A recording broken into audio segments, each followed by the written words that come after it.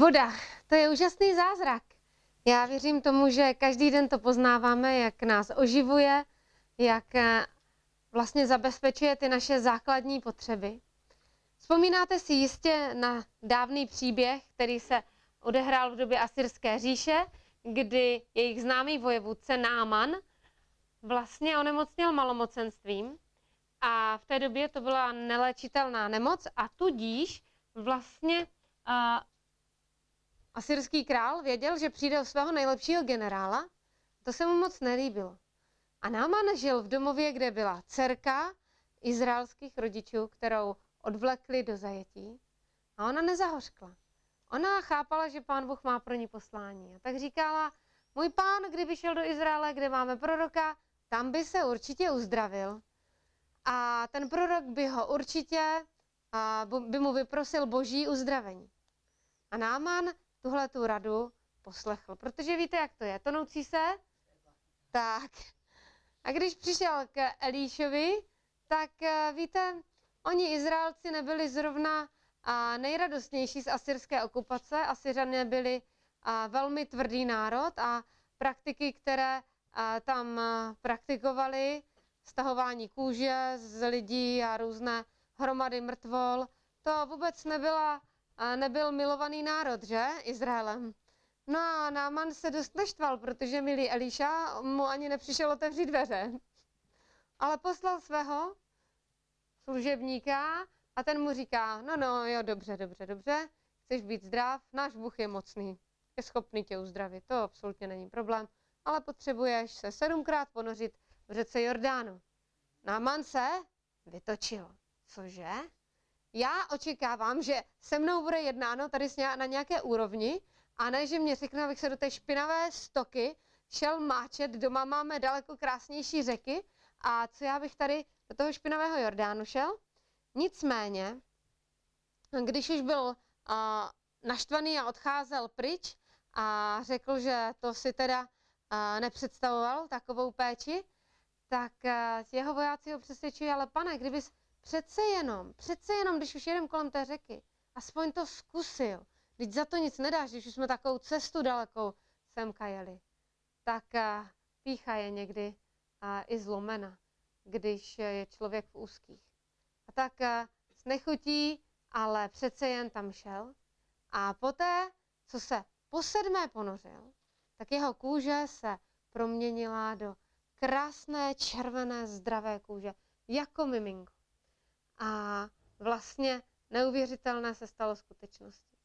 Já vím, že tenhle a, příběh z Bible, z druhé královské páté kapitoly, nám trošičku ukazuje na ten aspekt víry, že to, co nás uzdravuje, to není jenom obyčejná voda, ale to je Pán Bůh skrze vodu, ale přesto všechno nám také ukazuje, že voda má určité fyzikální a chemické vlastnosti, které pokud správně aplikujeme v určitém pořadí a počtu aplikací, tak mají pro nás skutečně zázračný účinek. Voda je důležitá také pro naše nitro, jak jsme zpívali v té písni. A voda je něco, po čem prahne celý svět. Každá rostlina, každý živočich, jelen žízní a řve po bystré vodě, když není. Podívejte se, jak ten mohutný strom dokáže urazit úžasnou cestu, jenom aby našel zdroj života, aby dosáhl vody. Kež bychom takhle toužili po té vodě života, o které eh, Ježíš řekl, že vyleje je v místa sprahlá žízní, bystřiny na suchou zemi, že vyleje. A tak stejně si přeje vylít svého ducha na naše potomstvo, na nás a požehnat ty, které z nás zejdou. To je úžasné zaslíbení, že a, i když si někdy připadáme jak vyprahlá země, tak Bůh má dostatek živé vody, kterou nás chce oživit. A podívejte se, tahle malá rostlina, víte, co to je? To je buk, přesně tak. A víte, co z ní vyroste? Pořádný háj, bukový, který vůbec nevypadá už takhle malé, ale který poskytuje stín a dává život mnoha živočichům. A vlastně všechno to je díky čemu? Díky vodě. Hm. Ano, děkuji, děkuji. Všechny faktory správně dávali pozor Milané na přednášce o růstu. Takže, je, se. Takže všechny ty a, faktory a voda je jeden z nejdůležitějších. A tak nezapomeňme na to, že vždycky se nám nabízí voda života, až přijdou jakékoliv problémy. A dívejme se na ty problémy jako na maskovaná boží požehnání, protože a, všechny věci napomáhají k dobrému těm, kteří milují Boha. Taky Ježíš jednou zvolal a říká, kdo žízní, ať přijde ke mně a pije. To je, kdyby byl pán Ježíš nějaký potok, že? Ale je to velmi podobné. Kdo věří ve mne, proud živé vody poplyne z jeho nitra, jak praví písmo. A to řekl o duchu, jehož měli přijmout ti, kteří v něj uvěřili. Takže Ježíš je ten, ta řeka, která vytéká od svatyně. A on nám dává svého ducha proto, abychom mohli všude, kde ta voda přijde, aby mohl být život. Podívejte se, jaké úžasné zázraky voda dokáže. Možná, že se vám zdá až nemožné, že každá vločka sněhu je jedinečná. A je to tak. Neexistují dva stejné tvary vloček. Víte, že návrháři zimních svetrů každoročně mají nové designy a to jenom kvůli tomu, že berou inspiraci. Víte od koho? Od toho Boha, který pro kterého každý z nás je unikátem, každý z nás je jedinečný, tak stejně jako neexistují dvě stejné vločky sněhu. Voda je úžasný zázrak, protože dokáže a vlastně a se projevit v mnoha formách a skrytá je pro nás a přitom tolik dostupná. V mracích máme zásobu této životodárné tekutiny, ale máme ji také i v podzemní vodě, v jezerech a také samozřejmě v moři. Voda je jedním z těch osmi zákonů zdraví, kterými se léčíme a který je nezbytný pro udržení života. Podívejte se na to, jakou roli hrála v dobytí nejvyšší hory světa. Asi víte, že Edmund Hillary a jeho tým v roce 1953 vypil denně 12 sklenic vody. Švýcaři, kteří se snažili dosáhnout vrcholu světa před nimi, tak byli neúspěšní, protože pili víte kolik? Jenom tři sklenice, d- promiňte, jedna až dvě sklenice vody denně. To hraje velkou roli na uh, vytrvalost. Víte, člověk je asi z 70% tvořen vodou, miminko více a když stárneme, tak méně. Pozor na to, staří lidé jsou dehydratovaní, takže je nuďte pít. A pokud ztratíme už jenom 20% vody, tak nám odumírají důležitá životní centra. My tady máme měření, můžete si změřit svoji hydrataci organismu. Je dobré vidět, jestli pijete dostatečně, anebo ne.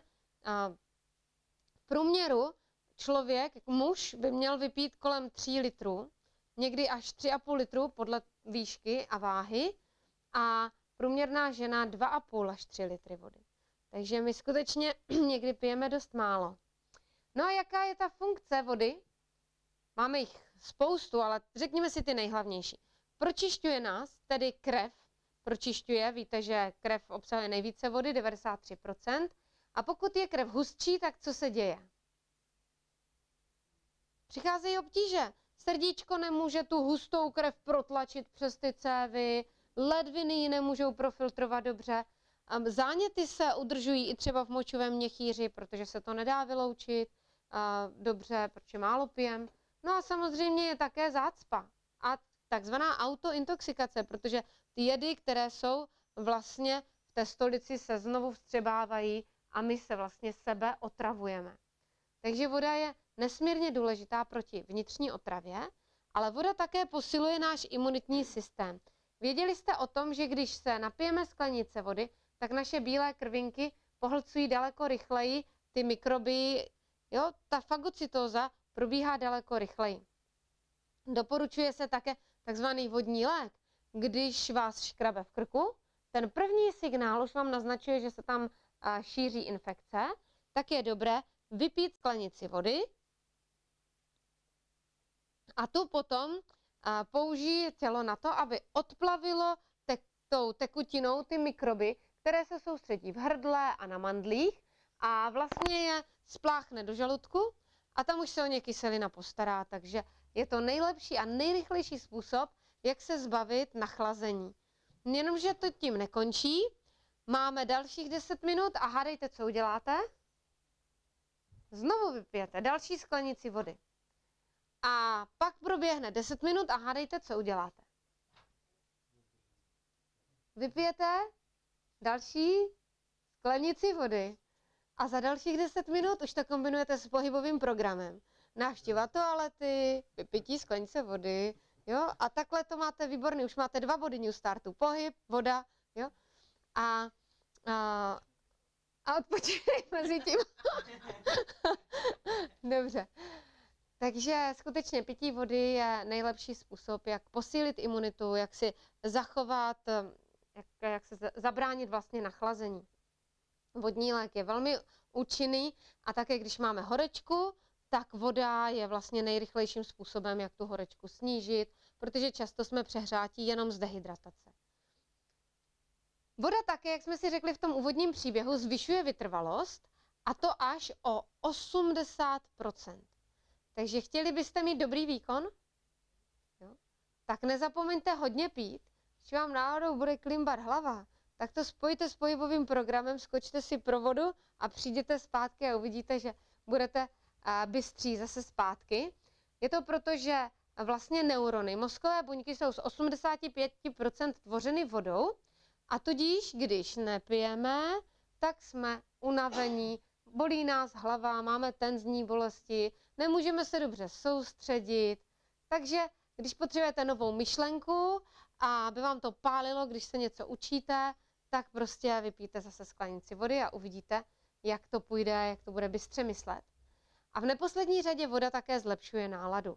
Ona pomáhá odstranit deprese, podráždění, sklidníte se, budete plní energie a vlastně budete také radostnější a veselější. Takže pokud budeme hovořit teď o vodoléčbách, tak chci jenom zdůraznit, že žádná vodoléčba vám nepomůže, pokud nebudete dobře pít. Protože tělo pracuje s vodou a pokud není dobře hydratované, no tak potom vlastně ani nemůže dojít k tomu léčení. Tady je napsáno, kolik bychom měli pít, takže pití vody nám maximalizuje funkčnost lidského těla. Hned po probuzení bychom měli vypít vodu, že potom mezi jídly dopoledne a pak zase mezi jídly odpoledne. Nepijeme dohromady s jídlem. Tady vidíte, kolik ztratíme vody. Je to 5,5 sklenice uh, močí, dvě sklenice vydechování. On se to nezdá, ale vydechujeme vzduch s párou, jo, s vodou. A dvě sklenice to udělají. A tím více, pokud mluvíte hodně, tak musíte daleko více pít. Kůží a pocením ztrácíme opět další dvě sklenice. To je důvod, proč je tak důležité práci prádlo, že? Protože to, co vypotíme, to zůstává v tom oblečení a tam jsou samozřejmě toxiny, že? A ty toxiny mají tendenci se znovu absorbovat do organismu, pokud si to oblečení nevypereme. Proto je hygiena nesmírně důležitá, abychom se neintoxikovali vlastními odpadními produkty. No a ve stolici tam máme také asi půl sklenice vody. Když to potrhneme, sečteme, denně ztrácíme 10 sklenic vody. Tak kolik potřebujeme přijmout? Taky 10. Když 10 ztratíme, 10 potřebujeme získat. A jednu automaticky získáváme metabolismem, tři sklenice v jídle, protože to nejíme suchý, a formou nápoju teda minimálně 6 sklenic. Ta sklenice by měla mít 2,5 deci, čtvrt litru, takže uh, nám to dá uh, litr a půl, že jo, to je jenom litr a půl, tak? Takže my musíme ten zbytek v těch nápojích, ale to je opravdu minimum. A raději pijeme daleko více, aspoň ty 2,5 litru. Takže třeba ráno si můžeme dát tři sklenice. Ráno je to nesmírně důležité, protože celou noc spíme a nepijeme, že? Takže ten organismus je dehydratovaný. A ráno někteří lidi tomu ještě pomůžou tím, že do sebe kopnou kafe a kafe je diuretikum, takže nás odvodňuje, takže vlastně se ještě více vyždímají ten organismus. Já se nedím, že mají zničené ledviny potom. Na Harvardu dělali velice zajímavou studii, a zjistili, že sportovci měli největší výkon, pokud pili daleko více, než byla jejich potřeba vody. A když potom a, pili a, jenom podle žízně, tak a, vlastně jim stále chyběla ta vytrvalost, ta výkonnost. Takže se zjistilo, že vlastně žízeň ukazuje jenom na dvě třetiny skutečné potřeby vody. A když už cítíme žízeň, to už je jakoby blikalá a, kontrolka, pozor, dehydratace, jo, hrozí. My bychom vlastně měli pít tolik, aby jsme vůbec necítili žízeň. Tak kdy nejlépe? Už jsme si říkali, ne s jídlem. Proč ne s jídlem? Tak, abychom nerozředili ty žaludeční šťávy, které jsou koncentrované, jsou nachystané na strávení jídla a pak zase, kdybychom je rozředili, tak tělo musí vydat velké množství tělesné energie, aby znovu skoncentrovalo je a my jsme potom hodně unavení po tom jídle. Takže tak půl hodinky před jídlem naposledy a pak zase asi hodinku po jídle. No a mezi jídly pijeme tedy ráno před snídaní, pak mezi snídaně obědem a pak mezi obědem a večeří. A po večeři už raději nepijeme, abychom neměli přerušený spánek. No a nejvhodnější zdroje tekutin, tak tam patří co? Co bys co nejraději pít? Přesně tak, obyčejná pramenitá voda, anebo když nemáte kvalitní vodu, tak si můžete pořídit filtr, tak si přefiltrujete vodu. Co minerálky? Přesně tak, protože jsou tam koncentrované minerály a už taky si lidi někteří vytvořili z toho ledvinové kameny, pokud byli pořád Rudolfův a Rudolfův, že? Takže raději uh, to střídejme a nebo je, si je rozředíme. Bylinkové čaje, ovocné čaje, někdy někteří říkají, no jo, ale to už je jídlo, to už je rostlina, že? Ty ovocné čaje asi ano, tam jsou nějaké cukry, ale když někdo není schopen vypít obyčejnou vodu, jako někteří tvrdí, že to je pro žáby a podobně, tak jim třeba do toho kápněte trošku citronu, jo? nebo nějaký krevčistící čaj, třeba z červeného jetele nebo z kopřivy. Mhm.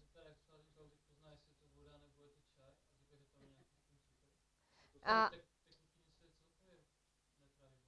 tak, tekutiny se tráví takzvanou Valdajerovou cestou, je to bokem, a, ale je to žaludek, jo, pouze je to vlastně u toho zakončení jednoho, u té zatáčky, kde to teda mimo tu tráveninu a, a tělo musí nejprve vyloučit vodu a teprve potom, teda žaludek, a potom teprve může trávit to hutné jídlo. Takže a, on to pozná, že to je, a, zvláště pokud jsou to slazené nápoje. Pokud je to jenom čaj neslazený, tak v tom není až takový problém. Ale když je to slazený ten nápoj, tak to samozřejmě zpomaluje to tráve, trávení, protože ten cukr se musí trávit. Jakoby zvlášť. To, no, nevím, jakým způsobem to přesně je rozdíl, možná Milan by nám poradil, ale každopádně eh, kardiologové tvrdí, že pití sladkých nápojů v žádném případě ta tekutina nemá takový účinek, jako když pijeme vodu. Jo? Že nás v podstatě naopak ucpává jo? Ten cukr.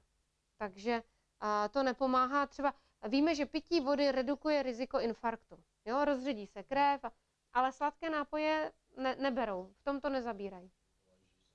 No, vyvolají žízeň, protože to musíš zase znovu rozředit, ten cukr, že jo? Mhm.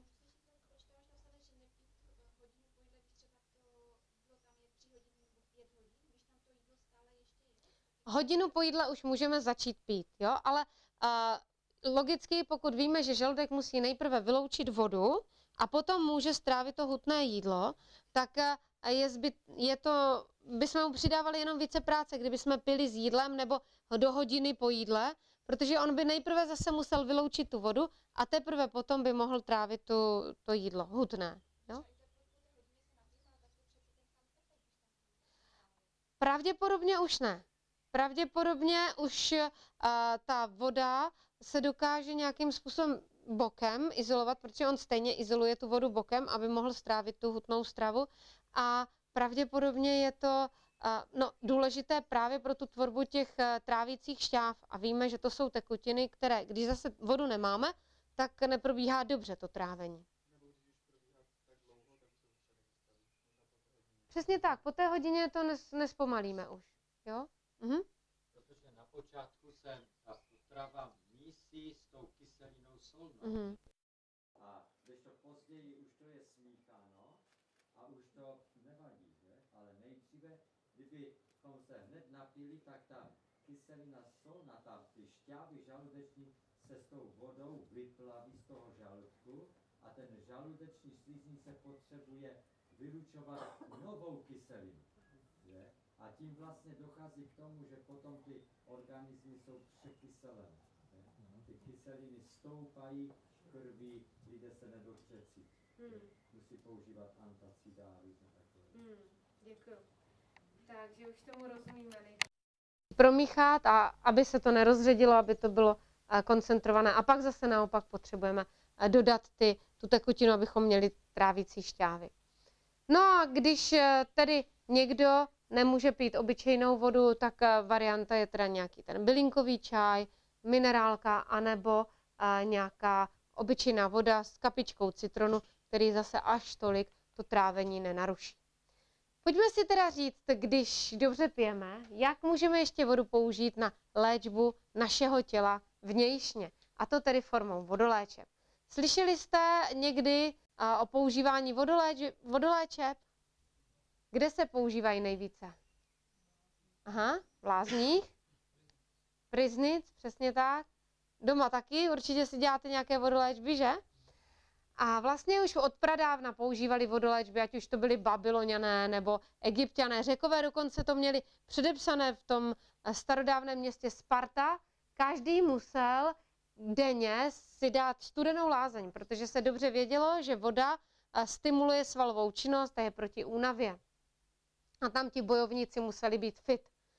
No jenomže, jak se rozvinula ta moderní medicína, tak se od používání vodoléčeb začalo upouštět a začaly se používat chemické léky a ne vždycky je to ku prospěchu, protože a, voda, ta se dá využít bez vedlejších účinků a je stejně silná jako chemické léky.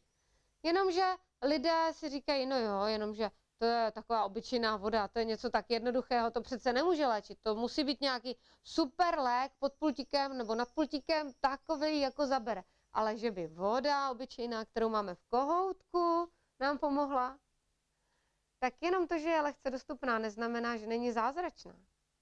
Někteří říkají, já vodolečby nedělám, protože já na to nemám čas, to je moc náročný, já si radši zapiju pilulku. Ale zase, pilulka jenom potlačí symptom, ta nevyléčí tu příčinu. Voda dokáže vylečit příčinu spolu se změnou životního stylu. Jiní zase řeknou, no tak to je zastaralý, už tady máme dneska moderní medicínu, nepotřebujeme vodoléčby. Ale to, že je něco starodávné, znamená to, že to není funkční? A naopak, je to odzkoušené generacemi, že? Takže, jak říká správce lázní v Homštad ve Virginii, síla vody nemůže být nahrazena ani ultrazvukem, ani protizánětlivými pilulkami, anebo svalovými relaxanty, ani žádnou jinou terapii.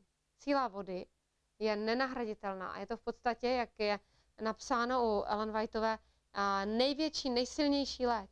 Voda má největší léčebné účinky. Voda je, nebo je ten přírodní lék, jo, pokud hovoříme o přírodních lécích.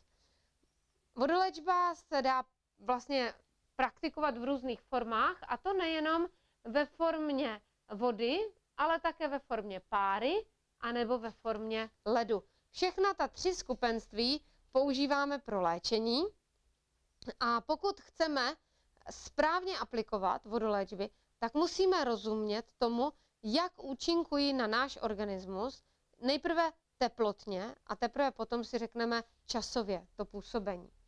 Eh, ten princip vody je, že ovlivňuje co v našem těle. Který, který systém? Krevní oběh. Přesně tak. Když si dáte nohy do teplé vody, tak vám zčervenají, že? To znamená, že tam přiteče více krve. A zase odteče z místa, kde je nějaké překyselení, nějaký zánět. Je? Takže eh, to nám ukazuje, že voda, vodoléčby pracují s krevním oběhem a víte, že místo, které se dobře ne, neprokrví, tak nám vlastně odumírá. Jo? A my potřebujeme normalizovat ten krevní oběh, aby všechny části byly správně vyživené a prokrvené. Proto a, poučka, základní poučka zdraví říká, že dokonalé zdraví závisí na dokonalém krevním oběhu. Jo? To říkal už Knajp, že? Nejenom na oběhu, ale i na kvalitě krve.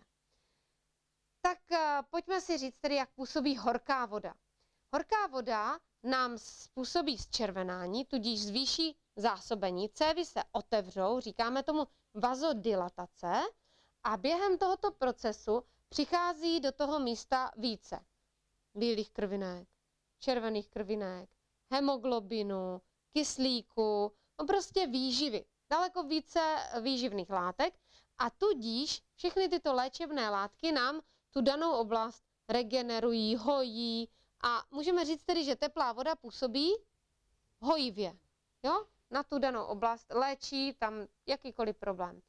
Pozor, to prokrvení je, představte si, až o 400%. Dovedete si představit, že se o 400% zvýší průměr vašich cev? Čtyřikrát víc, přesně tak. To je opravdu silné prokrvení a pokud máme nějaké vady nebo poškození cev, jako jsou třeba křečové žíly, záněty žil a podobně, no tak tohle si nemůžeme dovolit, protože ty cévy mohou potom třeba se tam může utrhnout nějaký zduřelý chlopeň, jo, nebo ten zánět se může ještě zhoršit.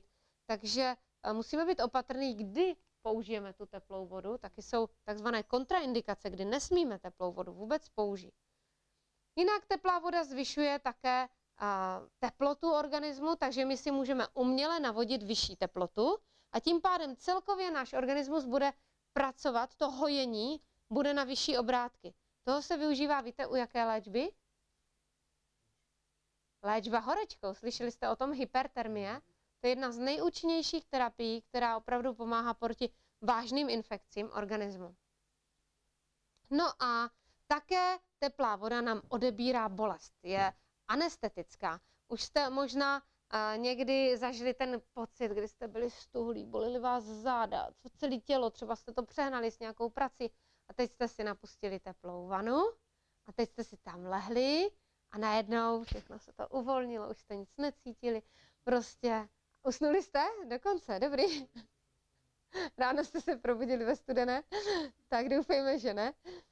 A, takže teplá voda relaxuje svaly, uvolňuje a tak, jak zvýší to prokrvení, tak zlepšuje odplavení odpadních látek a tím pádem vlastně ty spazmy se likvidují. Víte, že spazmy to je koncentrát asi pěti druhů kyselin v organismu, kyselina mléčná, močová, různé jiné, které vlastně jsou odpadní produkty metabolismu a intoxikují nás, způsobují ty křeče jo, svalové. A my je můžeme odplavit. Buď to masáží, anebo sprchou, horkou sprchou, anebo obojí, horká sprcha a masáž. Jo. Ideálně teplý zábal a po něm masáž.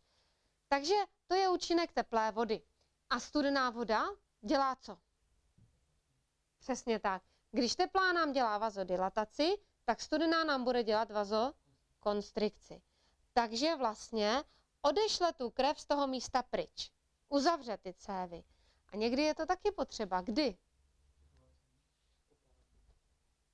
No, přesně tak, při popáleninách, ale tam se jedná spíš o to, ten přenos chladu, aby zastavilo to pronikání toho tepla do hloubky.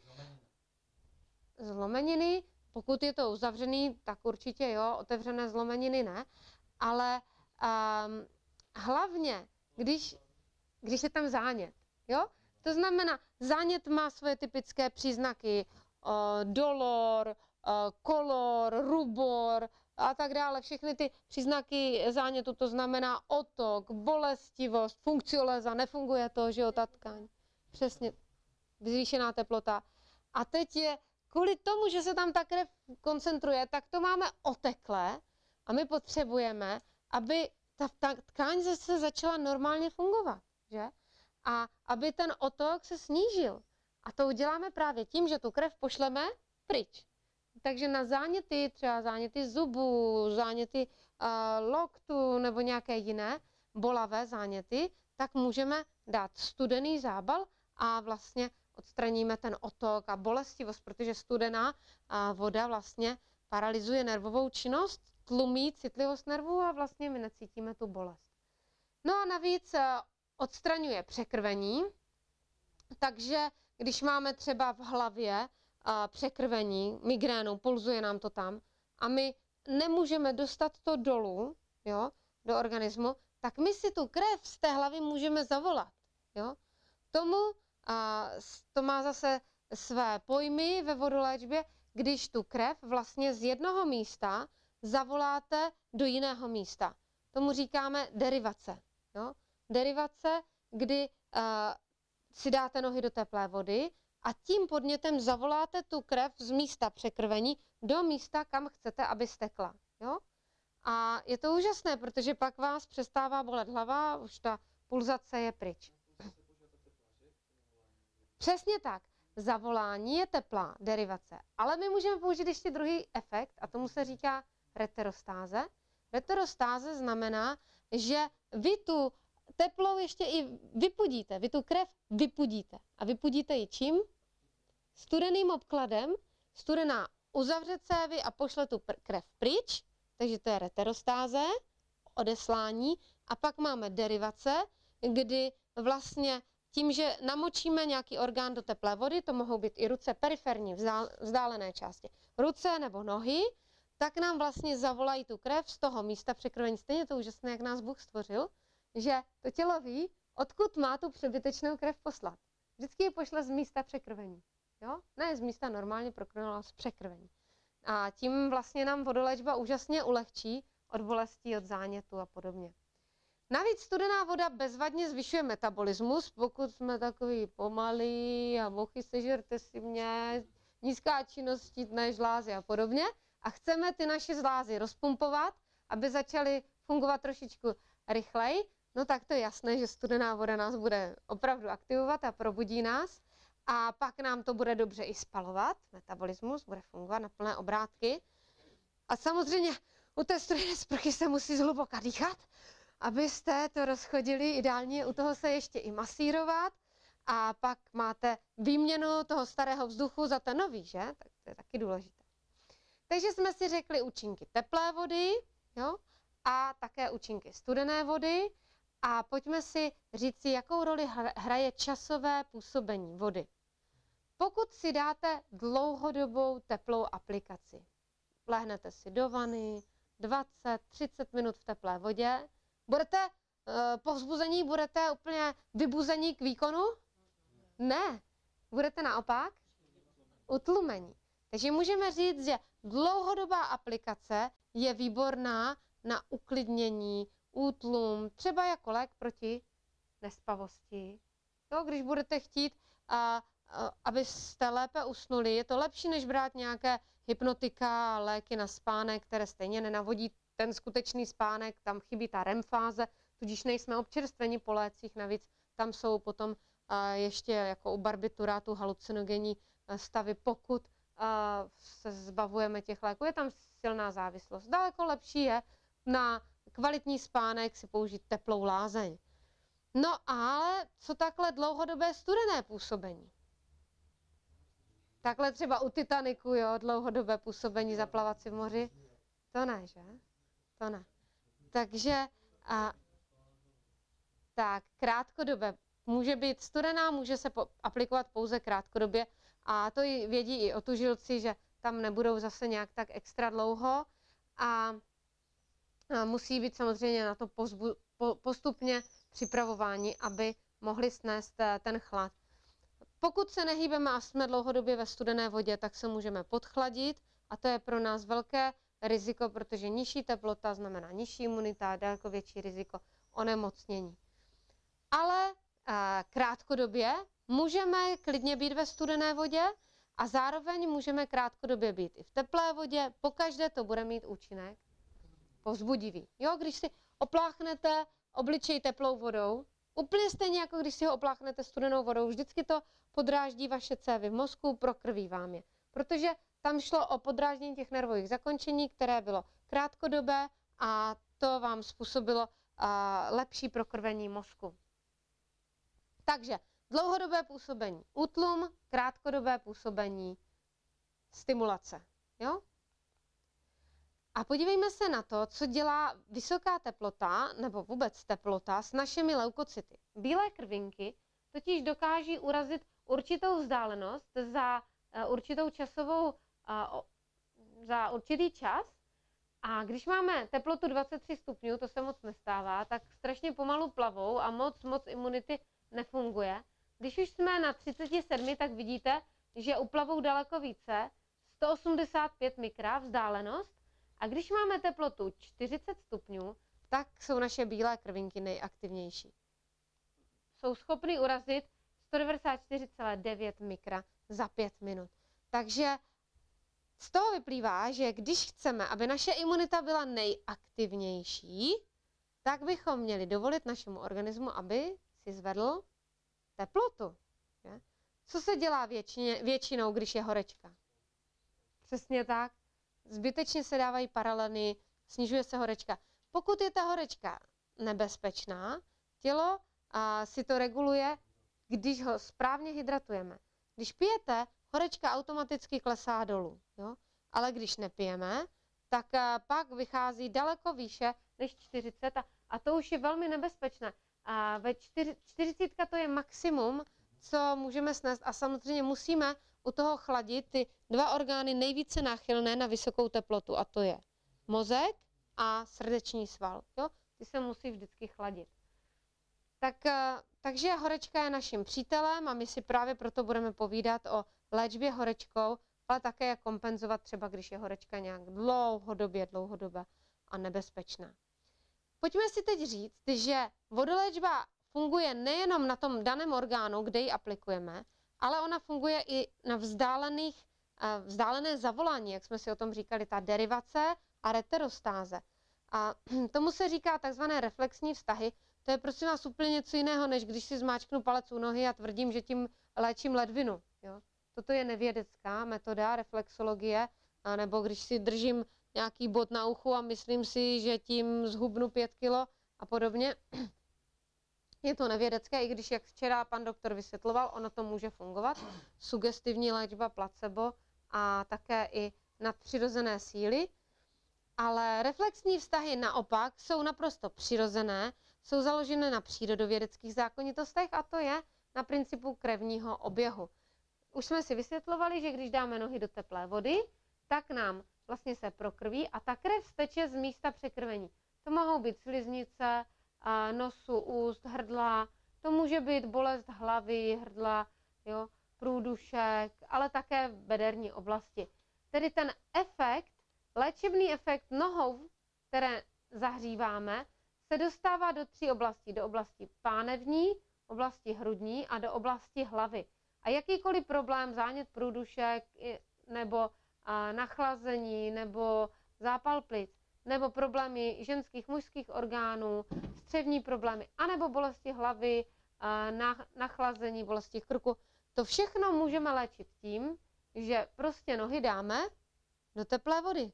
Ty naše prarodiče byli velice moudří, že? Když vlastně dělali si horkou lázeň večer, tak oni se tím nejenom, že měli hygienu, ale zároveň se tím i velmi léčili. Jsou další reflexní vztahy, když dáte třeba horký zábal na sternum, tak tím ovlivňujete činnost nadledvinek a ledvin. A ovlivňujeme vnitřní orgány, to jsme si říkali, anebo když si omijete obličej, tak tím naopak eh, prokrvíte mozek, jo, který je zase tady, ale e, e, nervy přenesou to podráždění e, do mozku. Jinak platí princip, že kam přiložíte zábal, tak ovlivňujete nervy a cévy v té kůži, které reflexně otevřou cévy v tom orgánu přímo pod tou kůží. Takže léčíme zábal, teda léčíme tím zábalem ten orgán, který je přímo pod kůží. Když si dáme zábal tady, léčíme tím plíce, ale zároveň i ze zadu léčíme plíce. Když si dáme zábal tady, tak léčíme ledviny, že? A, a podobně. A zábal tady, léčíme dutiny, chladíme mozek tím, že dáme zábal na zátylek. Takže to jsme si řekli něco o těch reflexních vztazích a po přestávce se podíváme na různé formy užití už těch jednotlivých procedur. Já tady vytáhnu učebnici vodoléčby, pokud ji někdo budete chtít, jinak bude také na CD a můžete si ji potom stáhnout. Tak 10 minut přestávka.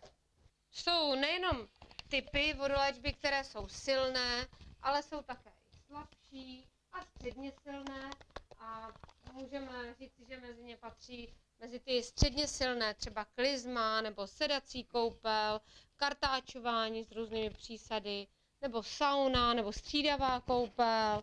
Pak jsou silně působící, to je třeba právě ta horká lázeň, které už se potíte, nebo, nebo parní lázeň, ruská parní lázeň, nebo taky horké zábaly. To jsou opravdu léčby, které vám zvýší hodně teplotu, a nebo vlhký zábal do celého těla.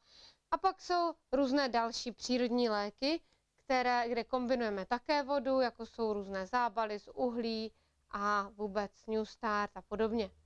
Mezi jedny z nejosvědčenějších typů vodoléče patří horké zábaly a vlastně vždycky lidé, když měli nějaké nemoci, tak dávali různé zábaly nebo obklady, že?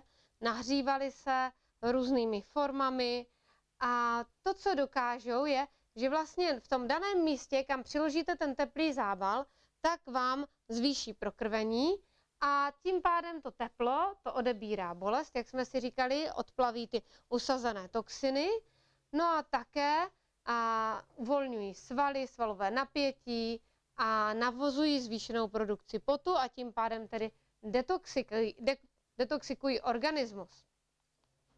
My máme kombinaci těch léčeb, které můžeme, kde můžeme vlastně využít toho, že používáme horkou lázeň nohou a my jsme si řekli, že ta má efekt do tří oblastí, že? Do oblasti bederní, do oblasti hrudní a do oblasti hlavy.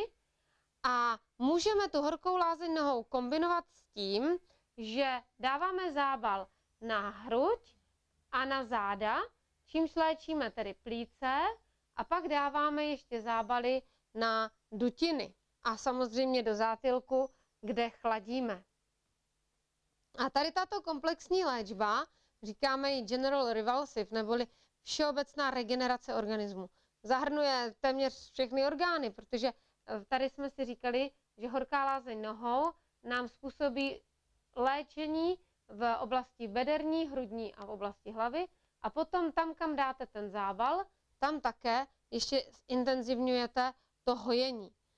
A vlastně můžeme takhle léčit různé infekce, jako je třeba nějaká zánět dutin, hltanu, hrtanu, nebo zánět průdušek, zápaly plic, nebo vůbec oslabený orgán. Pokud uh, není ten váš pro- problém v plicích a v průduškách, no tak potom můžete ten zábal dát na bříško. Jo? To znamená, že by nebyl tady, ale byl by tady. A léčíme tím například divertikulózu, chronovou nemoc, záněty střev, prostě jakékoliv problémy v břišní oblasti, mužské, ženské orgány. A ten teplý zábal se navíc ještě střídá se studeným. Víte proč? Protože během teplé aplikace, ta bývá tři minuty, dojde do toho místa hojení, přijde tam hodně krve, červených bílých krvinek, hemoglobinu, kyslíku a vlastně ty nám způsobí to prohřátí, prokrvení a léčbu a regeneraci, výživu té tkáně. Ale samozřejmě, jak bojují proti té infekci, tak některé ty bílé krvinky padnou za vlast, jsou poražené, stane se z nich vlastně hnis a my ho potřebujeme také vyloučit nějakým způsobem. A vyloučíme ho tak, že krátce, na krátkou chvíli tam dáme studeny. A to studené způsobí, že, ty, že se ty cévy uzavřou a odplaví pryč ty odpadní látky a vlastně poražené bílé krvinky a to všechno jde pryč do lymfy a znovu potom dáme teplý zábal a ten zase přivádí více červených, bílých krvinek, hojení, hemoglobinu, kyslíku a zase se ta tkáň rychleji regeneruje a zase po třech minutách teplé aplikace dáváme zase znovu studený na 30 sekund, dobře si to pamatuje.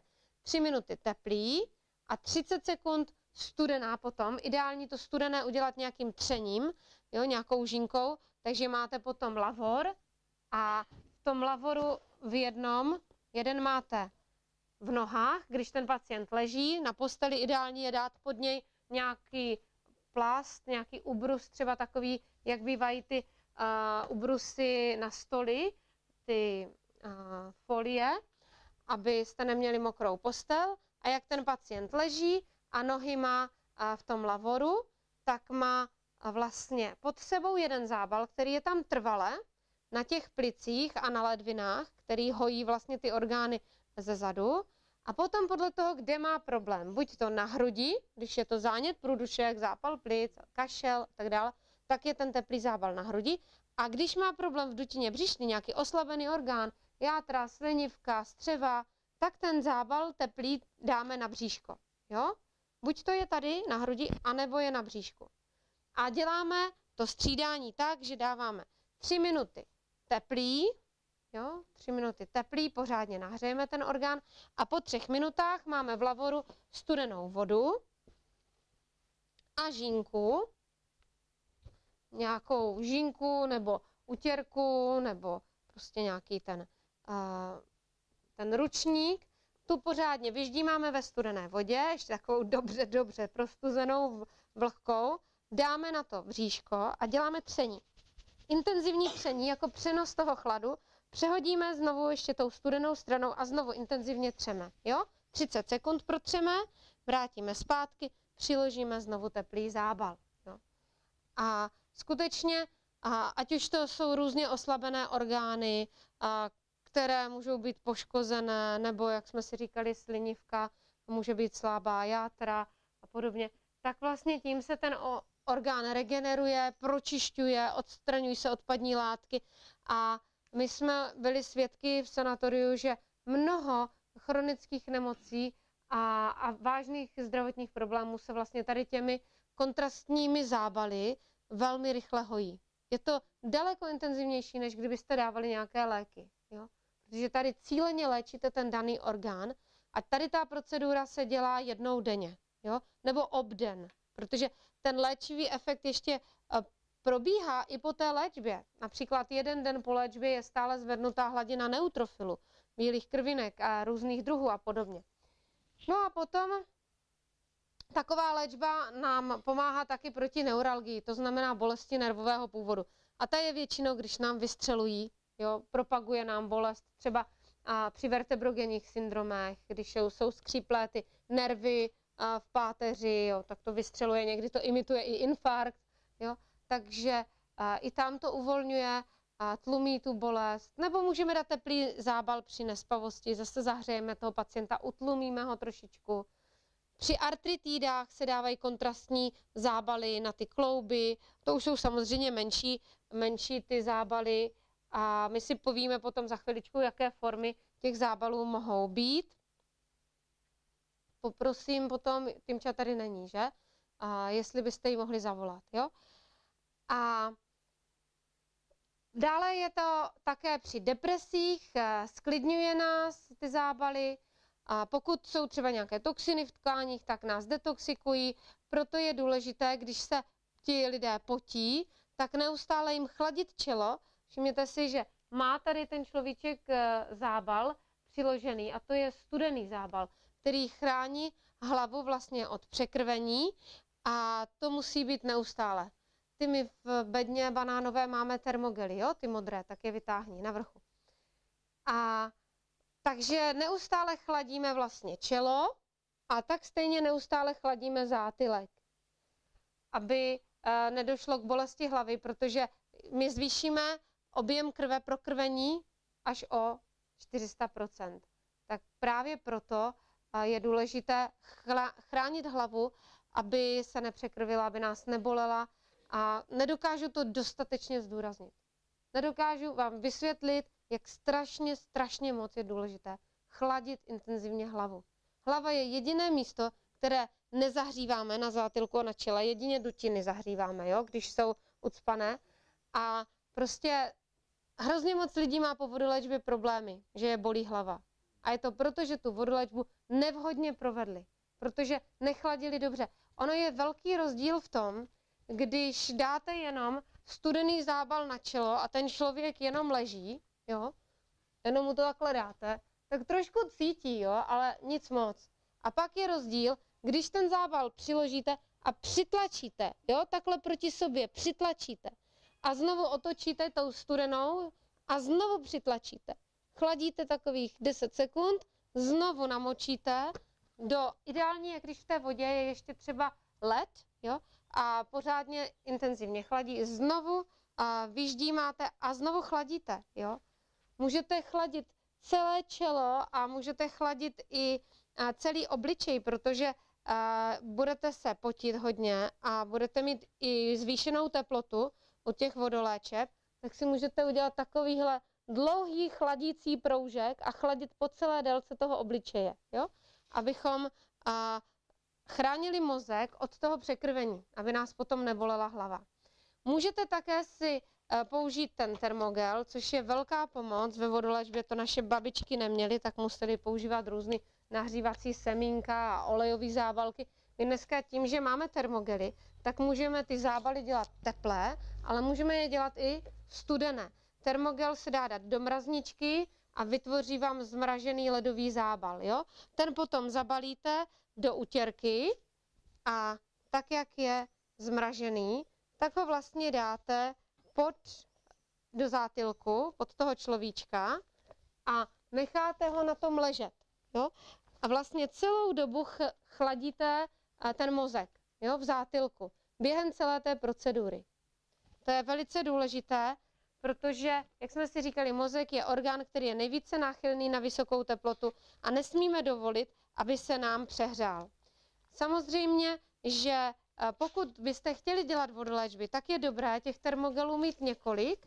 Eh, například jeden, dva si dáte do mrazničky, abyste je měli trvale zmražené v případě vymknutí kotníku nebo bolesti hlavy, abyste okamžitě mohli dávat studené proti bolesti, to je ta reterostáze, jak jsme si říkali.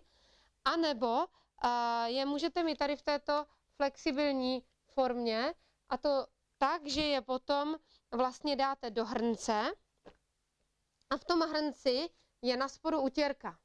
A pak trošku vody, asi tak 10-15 cm a do ní položíte ten termogel a začnete ho nahřívat, ale nesmíte ho zahřát víc než na 60 stupňů, jinak by vám praskl, ten gel by vám vytekl, je to škoda, stojí to přes dvě stovky, takže si ho zachovejte funkční, jo, ten termogel. A ono stejně nesneseme větší teplotu než takových těch 45 na nejvýš 50 stupňů, jo. Takže v tom hrnci si to zahřejeme, ten termogel, a opět zabalíme do ručníku, tentokrát už do trošičku silnějšího ručníku bychom to zabalili a dáme na hruď, jo, ten termogel, a on nám bude krásně vlastně zahřívat tu hruď, a nebo pokud ten problém byl na bříšku, tak dáme na bříško a léčíme ty břišní orgány. Další takový, taková velká pomoc, co můžeme použít do zábalu, je například e, normální elektrická dečka. Jo? Dá se koupit v datártu nebo v nějakém elektru a vlastně ji dáte do zásuvky a máte teplý zábal.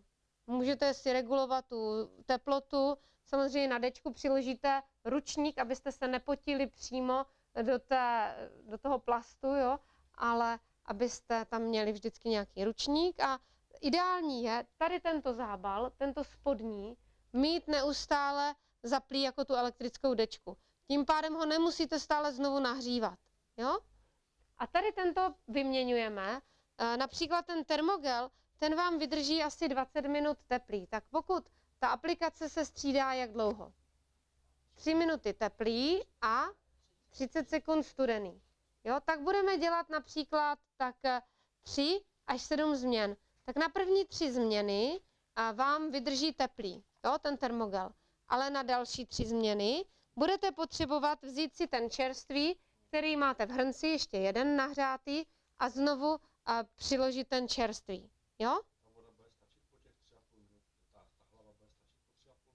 Hlavu chladíme pořád. Furt pryč hlavu každých 10 sekund. Pořád znovu chladit, pořád čerstvou, jo. Proto ten terapeut se moc nezastaví. Vodoléčba je skutečně pracná, ale dělá zázraky. Já vám můžu říct, že když jsem měla chřipku, teklo mě z nosa, bolela hlava a já jsem měla čtyři pacienty, kterým já jsem měla dávat vodoléčby. A já jsem to všechno udělala, masáže a jiné, ale prostě moje kamarádka už se na mě nemohla dívat. A ona říká, prosím tě, jako ty máš zachraňovat druhý, podívej, ty už to, a tobě nikdo nepomůže, já ti nemůžu, já ti nemůžu vidět. Pojď sem, napustila prostě a tady ten a lavor plný vody a my, jsme, my tam vlastně máme ty steamery, jo, takže uh, tam je neustále horký zábal, vždycky připravený. A to máme vlastně nachystaný do sanatoria, až bude sanatorium, přijedeme tam s hydrokulátorem a trvalé připravení, vždycky připraven na vodoléčbu, jo. A tak mi tam položila, nahřála ze zadu, ze předu tři změny. Přátelé, já jsem po těch třech změnách neměla ani rýmu, ani bolest hlavy, nic mě nebylo, já jsem byla fit, normálně jsem, jsem druhý den naběhla, absolutně vůbec žádná známka chřipky. To se mi ještě v životě nestalo, že bych byla ten okamžik uzdravena. Během jedné vodoléčby. Jo. My víme, že vodoléčby působí dlouhodobě, že to je otázka procedur, určitých sérií, že, že nemůžeme říct, že za jeden uh, zábal dřevěným uhlím nebo za jednu, uh, jo, za jednu vodoléčbu prostě by byl vyle, vyléčený problém. Ale víme také to, že Bůh slíbil, že přirozené přírodní lé, léky s vírou a modlitbou budou mít až nadpřirozený účinek. A to se stává. Pan Bůh vyslýchá modlitby a, a uzdravuje nás pomocí jednoduchých přírodních léků a voda patří mezi jeden z nejúčinnějších přírodních léků. Takže tady tyhle horké zábaly můžeme použít nejenom na oslabený orgán, nejenom na bolavá záda nebo nějakou nervovou bolest, na artritidy, ale také na bolesti zád. To je vůbec ideální, protože to tlumí tu bolest, uvolní ty stuhle, stuhlé svaly a také stuhlé vaziva a podobně. Takže ta léčba probíhá tak, že si na postel dáte folii, nebo to děláte na masážním stole, to je vůbec nejlepší, tam máte koženku. Na to si dáte prostěradlo, aby člověk nebyl na igelitu, to by nebylo příjemné, že? A na to prostěradlo položíte lavor se, stu, s horkou vodou, tak 37 až 40 stupňů horká voda. A nachystáte si ten zával pod záda. Jo? A to může být normálně elektrická dečka. Teď přijde pacient, položíme ho, on si dá nohy do teplé vody, lehne si na ten zábal, my ho přikryjeme prostěradlem a přes to prostěradlo dáme ještě deku, aby to teplo neuniklo, aby jsme ho uvěznili, aby se začal potit, protože zároveň je to potní kůra. A přineseme si horký zábal z toho hrnce, který tam máme nahřátý, zabalíme ho do ručníku nebo do utěrky a přiložíme na hruď anebo přiložíme na bříško. Jo? Můžete i třeba dva vedle sebe, protože oni nedělají ty rozměry moc velké, tak abyste měli uh, celou tu plochu jo, zahřátou. No a potom a po třech minutách, a už možná během těch tří minut, dáváte tomu pacientovi studený obkladek, protože už se začne potit, už mu budou stékat krupěje potu, tak mu budete stírat ten pot e, nějakou žínkou a samozřejmě chladnou ve studené vodě namočenou.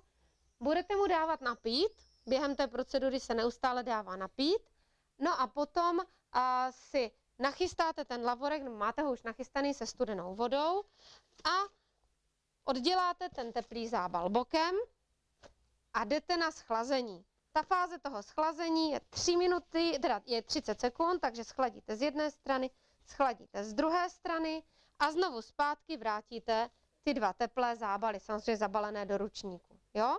A znovu 3 minuty necháte působit. Mezitím zjišťujete, že vám ochladává lázeň eh, v horké lázni nohou, takže musíte přilít vřelou vodu a to tak, že nadzvednete vlastně to prostěradlo ze ze zadu, tady od nohou, nadzvednete to prostěradlo na kolena a jednou rukou budete míchat, abyste nespálili ty nohy tou horkou vodou a druhou rukou budete lít z té varné konvice, jo?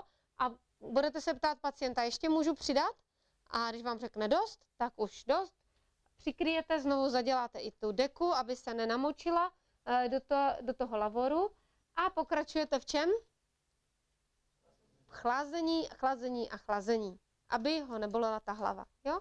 A takhle to děláte furt dokola. Minimum je tři změny. Bylo dokázáno, že největší fyziologický léčebný efekt je, během prvních tří změn, ale ideální je udělat změn, kolik byl ten náman? Sedm.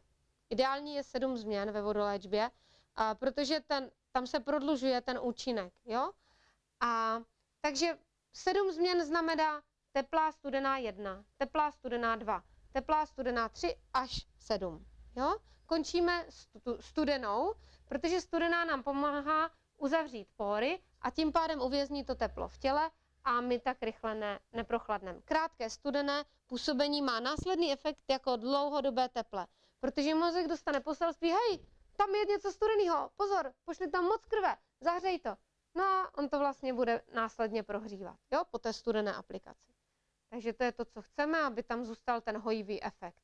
A potom toho pacienta vysvobodíme, necháme ho osprchovat, protože bude celý spocený a pošleme ho do postýlky s tímhle lavorem.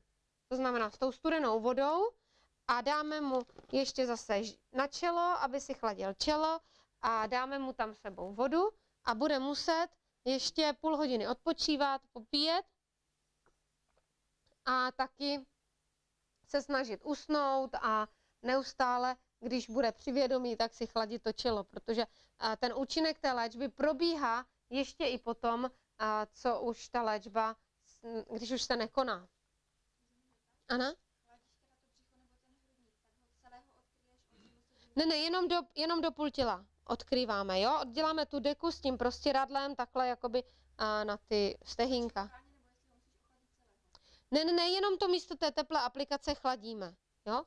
Potom se nakonec dělalo takzvané studené tření žínkou, kde ho máme tady, jo? Ale to je celkem nepotřebný, protože když ho pošlu do sprchy, tak se od toho potu jakoby otře. Dřív se to dělalo, protože, nebo u pacientů, kteří jsou ležáci, jo, tak musíte umývat takhle, jako od toho potu, jo, po té léčbě. Ale pokud ten člověk je schopný do sprchy si dojít, tak mu uděláte tu sprchu.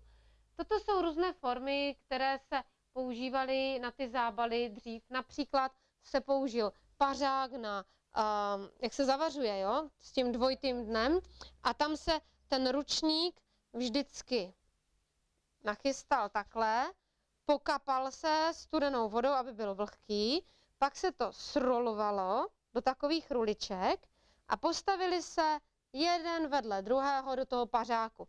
A musíte 20 minut to nechat napařit, aby intenzivně byl prohřátý. Jo? A pak ještě ho zabalíte do dalšího ručníku, protože takhle horký byste ho absolutně nemohli dát na pacienta, to byste ho spálili. Jo? Takže ho ještě zabalíte do dalšího ručníku a teprve potom ho dáváte na tělo. Jo? A teprve potom vlastně takto připravený ten napařený zábal zdáváme uh, jakoby na tu teplou aplikaci. Ale zase je to hodně pracné, musíte uh, neustále po jednom, po jedné, jednom tom zahřátí už musíte znovu ho vrátit do toho pařáku a znovu napařit, jo? A vydrží vám opravdu jenom ty tři minuty teplý, pak už se schlazuje, někdy už to třeba ti pacienti ani necítí, tak to znovu odbalíte z toho vrchního a necháte už působit jenom, jenom ten teplý, ten, ten spodní, jo? abyste a, vlastně docílili toho kýženého tepelného efektu maximálního, co ten pacient může unést. Takže tady vidíte, jak to pěkně balí. Proč to balí do ruličky i s tím druhým obalem? Víte proč? Protože my, když jdeme k tomu pacientovi a, a my ho chceme chladit, no tak my musíme mít už ten teplý zábal připravený. Pokud je to ten termogel, tak ten termogel je samozřejmě teplý, je vydrží vám tak dvě, tři aplikace, dvě, tři změny, jo? budeme říkat dvě, tři změny. Teplá studená znamená jedna změna. Jo? Tak eh, ten termogel jenom odděláte a zase ho tam vrátíte. Ale pokud používáte zábal, který je napařený, tak si ho musíte, jak ho vyděláte z pařáku, zabalíte do toho vnějšího obalu, to může být i třeba deka, jo? nebo druhý ručník. A tak si ho musíte srulovat, abyste to teplo tam uvěznili, aby vám neuteklo. Jo? Protože kdybyste ho nechali takhle otevřený, tak vám strašně rychle vyprchá. Takže vy ho musíte zabalit, aby vám nevyprchalo, uděláte schlazení a potom schlazení vytřete do sucha ručníkem a znovu dáte vlastně nový čerstvý teplý. Jo? A mezi tím běžíte rychle, si nachystáte nebo schladíte pacienta, dáte mu napít, běžíte si rychle nachystat další nový, zabalíte si ho a pak zase jdete na schlazení a dáte nový čerstvý teplý a zase chladíte čelo, dáváte napít. Takže jako terapeut běháte, neustále běháte, chladíte, jo, a vy si taky schlaďte někdy. Takže to jsou ty různé formy. Osobně teda nejry, nejrychlejší považuji za nejrychlejší ten termogel, anebo a máme mm, mašinku na nahřívání zábalu a ta se jmenuje hydrokulátor. Jo? A to je speciální umělá hmota, která je v takovém termostatu, v takovém tanku, v horké vodě, neustále ponořená v takovém zábalu zašitém a to jenom vyděláte, zabalíte do ručníku, přiložíte a to je teplé hodinu. Jo? Takže to jenom odděláte, schladíte, vrátíte. Jo? To je nejrychlejší samozřejmě, ale ne každý má hydrokulátor, tak přemýšlím, co by se ještě dalo používat. Možná mazlík. Mazlík to je zábal, který si uděláte tím, že eh, si vezmete pšenici nebo lněné semínko, mm, nebo i třešňové pecky, jo? A vlastně zašijete si je do povlaku od polštáře, jo? Do nějakého plátěného jakoby balíčku a dáte je buď do trouby, anebo do mikrovlné trouby na tři minutky nahřát. Ty semínka, protože mají olej v sobě, tak si to teplo vlastně absorbují a vy eh, je můžete dávat a taky je to teplná aplikace, taky je to horký zábal. Jo? I když nejintenzivnější je a vlhké, vlhké teplo. To proniká nejhlouběji do tkání. Takže, takže ta voda má svůj efekt a proto ty termogely jsou nejlepší. A myslím si, že každý z vás by měl mít minimálně tři termogely doma. Jeden na chlazení, dva na nahřívání, protože nikdy nevíme, co se stane a proč bychom museli každopádně přikládat jahody zmražený, když můžeme tam dát ten termogel.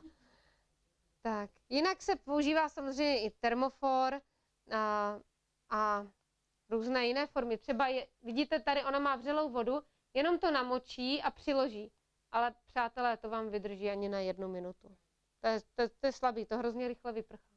Takže raději, raději ten napařený, ten vydrží díl.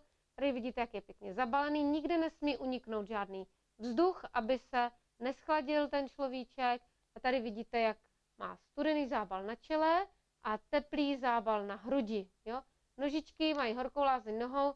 Když byste měli moc měkkou postel, tak se někdy dává takový to velký dřevěný prkno, na ty ten vál, jo?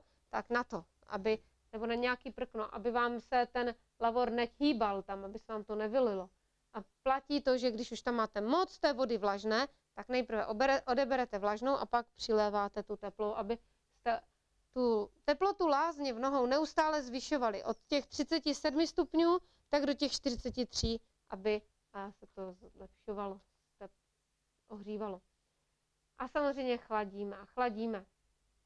Když člověk s vírou dělá vše, co může, aby odvrátil příčiny nemoci a používá přitom prosté metody léčení, Bůh požehná jeho úsilí. Ta víra je důležitá, že? A tak proto je také dobré se s tím pacientem na začátek před tou procedurou pomodlit. Řekněte mi, jakou chybu udělala tady ta lady? Tak, ty nohy musí být eh, až dolů, jo, ten, ten eh, zábal, protože nám jde o to uvěznit to teplo, vytvořit takzvanou parní lázeň. A tady máte ten citát, voda, moudře používaná, to znamená, musíme inteligentně přemýšlet o účincích té vody, je nejúčinnějším prostředkem léčení. Takže ani ibalgin, ani chemoterapie, ale voda. Přátelé, já bych s váma toho chtěla ještě probrat tolik. Jak si můžete udělat ruskou parní lázeň, kontrastní lázeň, 3 minuty teplý, 30 sekund studený, střídáte dva lavory. Opět je to úžasný proti zánětům na léčení těch tří oblastí. Léčíte tím infekce, zranění třeba kloubů a podobně a vyvrtnutí. Dokonce představte si, Můžeme, můžeme, klidně. Já mám čas, ale jestli nemáte moc hladu ještě, ještě pět minut teda. A to kontrastní se dělá zase jednoduše tak, že dáte si dva lavory, do jednoho dáte teplou vodu 37 stupňů a do druhého studenou 20 stupňů. Jo? Aha.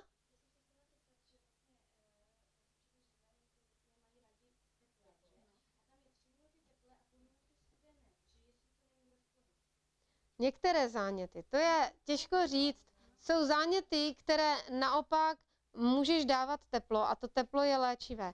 Hla, zvlášť, když to kombinuješ potom s tou studenou, jo? Protože ty potom vypudíš, odstraníš ty odpadní látky, ten dolor, ten, ten tumor, to jsou všechny ty, že jo, ten hníz a podobně to odplavíš pryč, jo? Takže některé záněty mohou, většinou platí to co je pro vás příjemné, tak vám taky pomůže, jo, i v té vodoléčbě. Ale samozřejmě je jasné, že třeba nebudu dávat na uh, otoklý zub, nebudu dávat teplé, že abych to ještě více neprokrvila. Mhm.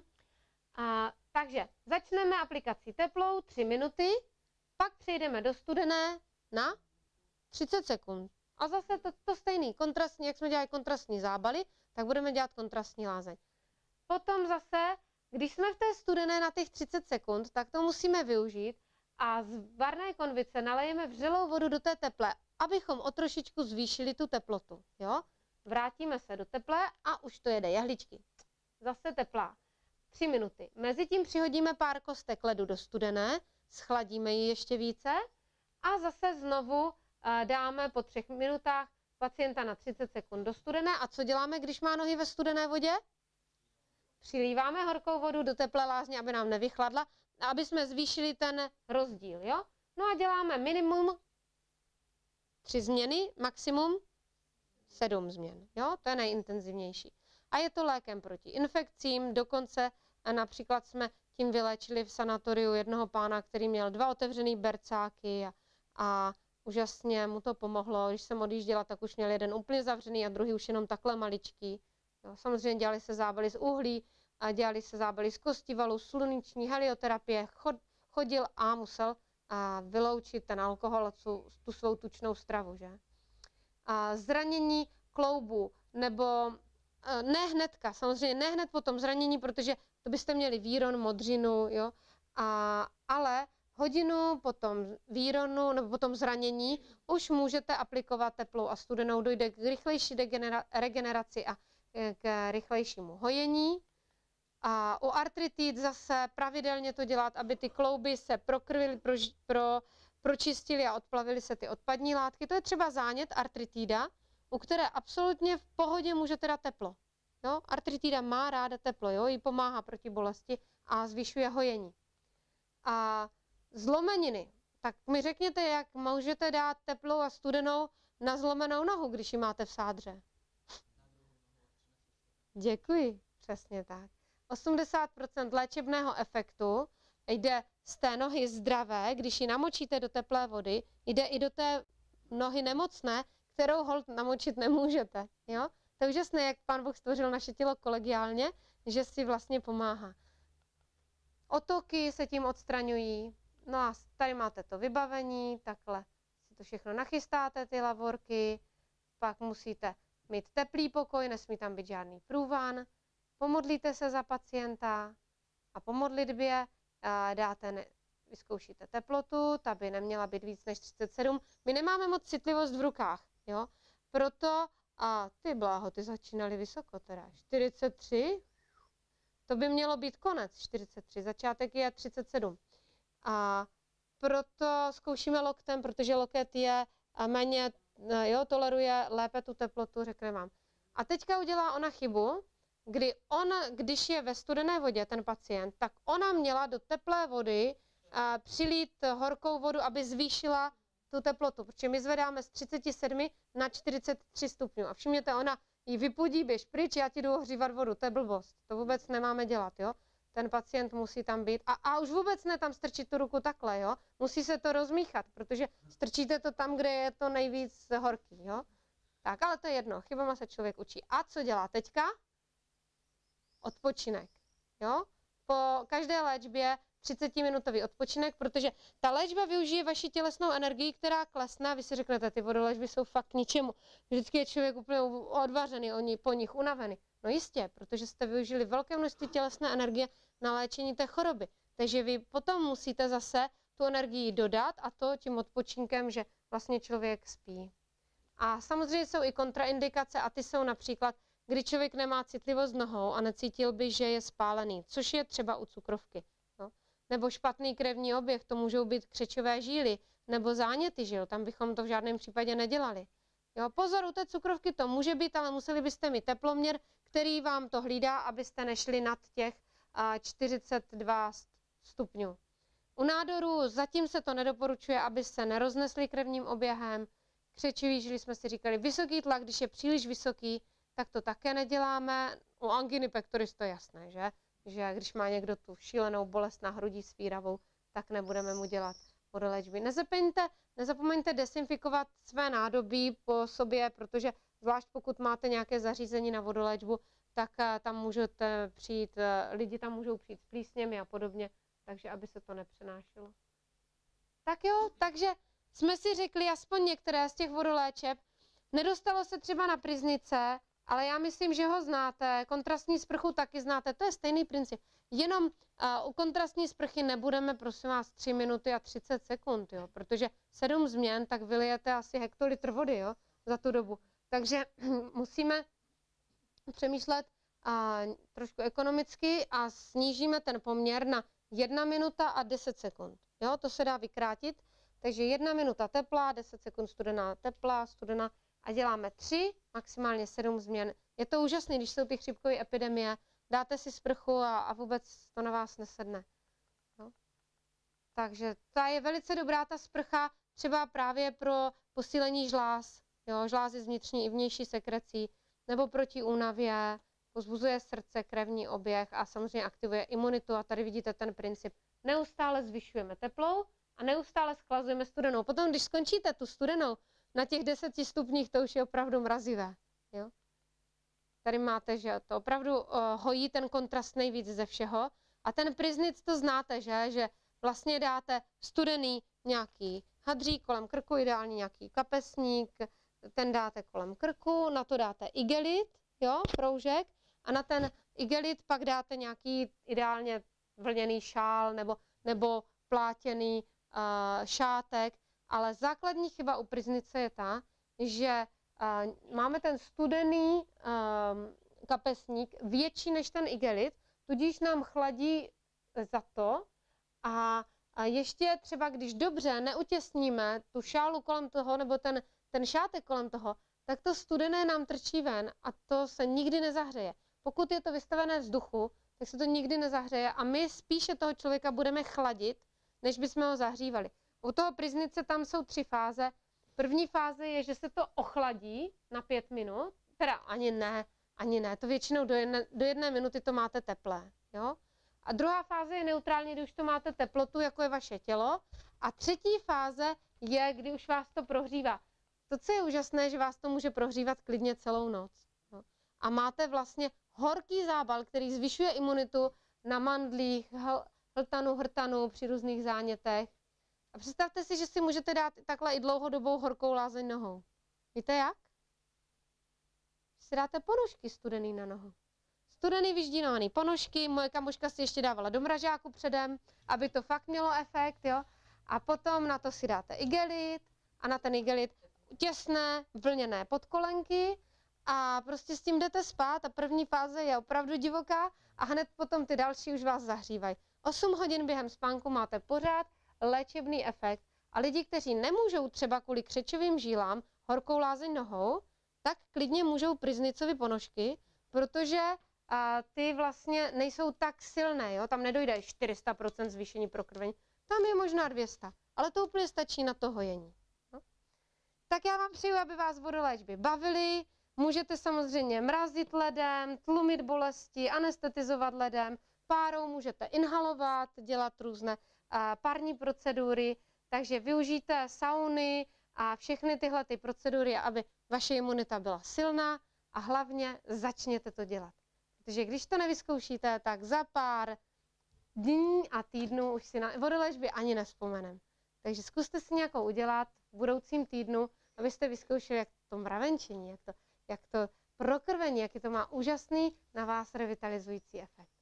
Tak děkuji za pozornost. Kdo budete chtít, tak potom tady vytáhnu učebnice.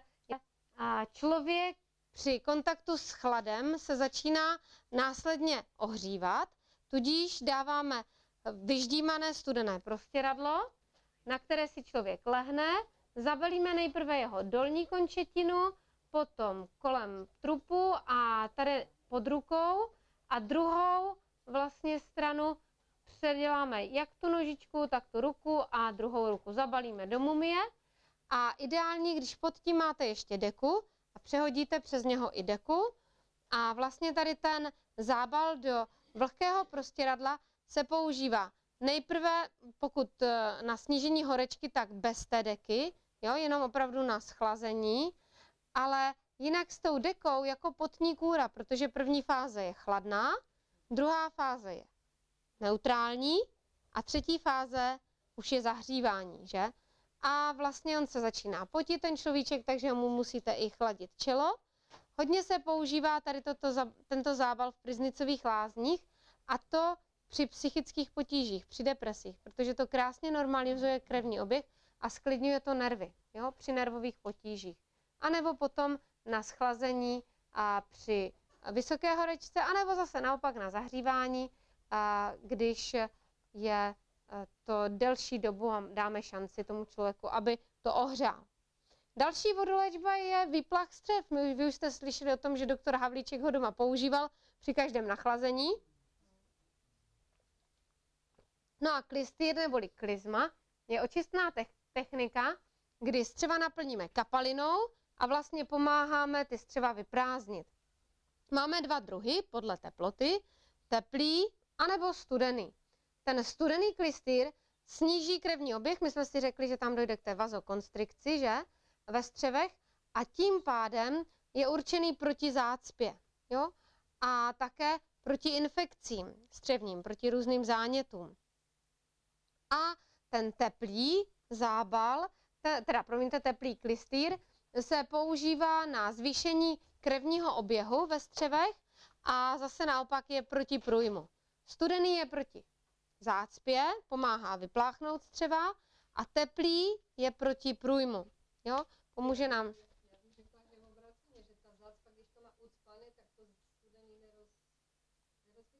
Rozhýbe, to, to se budeš divit. Mhm. A je také ten teplý proti střevním parazitům, ty nemají rádi tolik tepla. A, a při střevní kolice, protože teplo jsme si říkali, že sklidňuje bolest, jo? Tlumí bolest a pokud je nějaká bolest ve střevech, a tak vlastně ten teplý, eh, teplý klistýr to sklidní. Ale tím nechci říct prostě uh, uklidněte bolest a neřešte to. Bolest je vždycky signál, že je nějaká příčina vážná a tu příčinu musíme vyřešit. Pak jsou další formy klistýru a to je buď to proplachovací, anebo zadržovací. Proplachovací znamená, že uh, nalejeme do střev ten nálev a vlastně okamžitě se jdeme vyprázdnit, jo, protože nás to nutká na vyprázdnění a zadržovací, ten je takový, že si lehneme vlastně na pravý bok, tím vůbec pokaždé, když aplikujeme ten, to klizma, tak vždycky ležíme na pravém boku, aby to steklo vlastně do toho vzestupného a příčného tračníku, jo? ne, aby jsme to tlačili hnedka na druhou stranu, aby se to rychle vyprázdnilo. Takže nejprve při nalévání ležíme na pravém boku, a nalijeme ten litr, někdo třeba zvládne jenom tři čtvrtě litru, do střev a pak chvíli zadržíme. Chvíli až kolem třeba 3-4 minut, kdy se snažíme, aby ta voda s nějakou léčebnou látkou zůstala v těch střevech. Léčebná látka to může být třeba citronová voda, jo? nebo to může být dřevěné uhlí, nebo šalvějový odvar a podobně, proti zánětům. A vlastně klistýr má reflexní účinky, takže celkově v celém organismu potom tlumí bolesti. Moje známá ta první věc, co udělá, když jí začne bolet hlava, jde si dát klizma. Jo, proti bolesti. Klizma je výborná věc, která tlumí bolest. Takže co může být obsahem toho roztoku? Jednak to může být destilovaná voda, anebo voda prostě jenom převařená, kterou a, vlastně necháte schladit na tu potřebnou teplotu a potom nalejete do toho nálevu. Dřevěné uhlí, když používáte pro detoxikaci střev, tak se tam používá zase jedna až pět eh, polevkových lžic. Hezky to rozmícháte, nalijete do dvou litrů vody a ideální je to dřevěné uhlí použít na zadržovací klistýr. To znamená, aby to tam působilo chvíli v těch střevech, zadržujeme aspoň ty čtyři minutky a potom zase a, si lehneme na ten pravý bok. A jakmile si lehnete na pravý bok, tak to steče zase více ke konečníku a tím pádem se půjdeme rychleji a, vyprázdnit. Ten a, klystýr z toho dřevěného uhlí se používá při otravách uštknutím, bodnutím hmyzem, různých zánětech střev a podobně. Můžeme mít bylinné čaje do nálevu, a zase uděláme 2 litry šalvěje nebo nějaké mateří doušky tymiánu a podobně. Citron, takže bychom do těch dvou litrů vyždímali tři citrony. A kávový, ten už dneska raději nedoporučuju, protože eh, ty zkušenosti s ním nejsou moc dobré.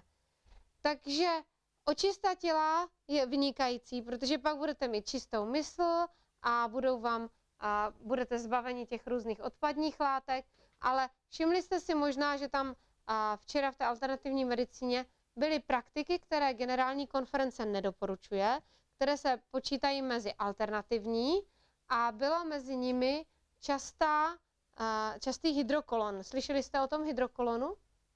To je vlastně taková mašinka, která, ano, je to jako klizma, napustí vám do střev hodně vody, ale pod proudem, pod silným proudem a vlastně ona má vyčistit tu sliznici, víte, jak na střevech je usazený ten šlem z té bílé mouky, jo, ten nám vlastně brání vstřebávat vitamíny a minerály uh, z toho jídla a vlastně my jsme potom daleko více unavení, máme avitaminózy, nedostatek minerálů, protože jsme zalepení tou bílou moukou, jo.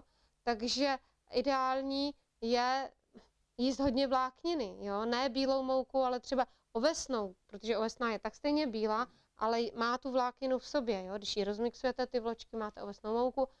A, a prostě jednou za čas je možné s takovou proceduru absolvovat, to pak se lidi úplně diví, co to z nich všechno jako jde, jaké dlouhé šlichty, lepivé, jo? A prostě krásně se tím pročistí ta a, stěna střev, ale nemůžeme to dělat jakože každý druhý týden, jo? To by se ta stěna střev poškodila. Takže možná, že jednou za život v pohodě, jo, nebo dvakrát za život, pokud někdo jedl hodně bílé mouky a podobně. Ale jinak je lépe prostě, když tak ten klistýr, a zase ani klistýr by se neměl dělat pravidelně. Jo. Já vím, jsou lidi, kteří se třeba mají problémy vyprázdnit, tak OK, tak jednou za čas si dají ten klistýr, ale správně by měli jíst hodně vlákniny, mít pohyb, tam jsou tři léky na zácpu. Vláknina, pohyb a hodně pít. Jo? A tím se ty střeva krásně pročistí. Protože i klistýr je návykový a to nechceme.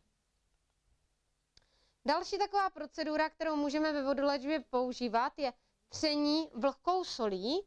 Možná, že jste slyšeli o tom, že sůl má desinfekční účinky a, a dokáže krásně vyčistit eh, tu starou pokožku, ty odumírající, tu odumírající vrstvu buněk a používá se tedy tady toto tření pro zvýšení přílivu čerstvé krve a vlastně pro takovou vitalitu těch tkání, hlavně u lidí, kteří mají, um, jsou dlouhodobě ležící, jo? nemají moc pohybu a potřebujete, aby ty jejich svaly se uh, zase jakoby dostaly do určitého tonusu, jo? aby jakoby byly nějak regenerované aby neodumírali, neatrofovali.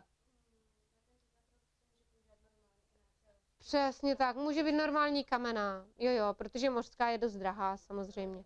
Mhm.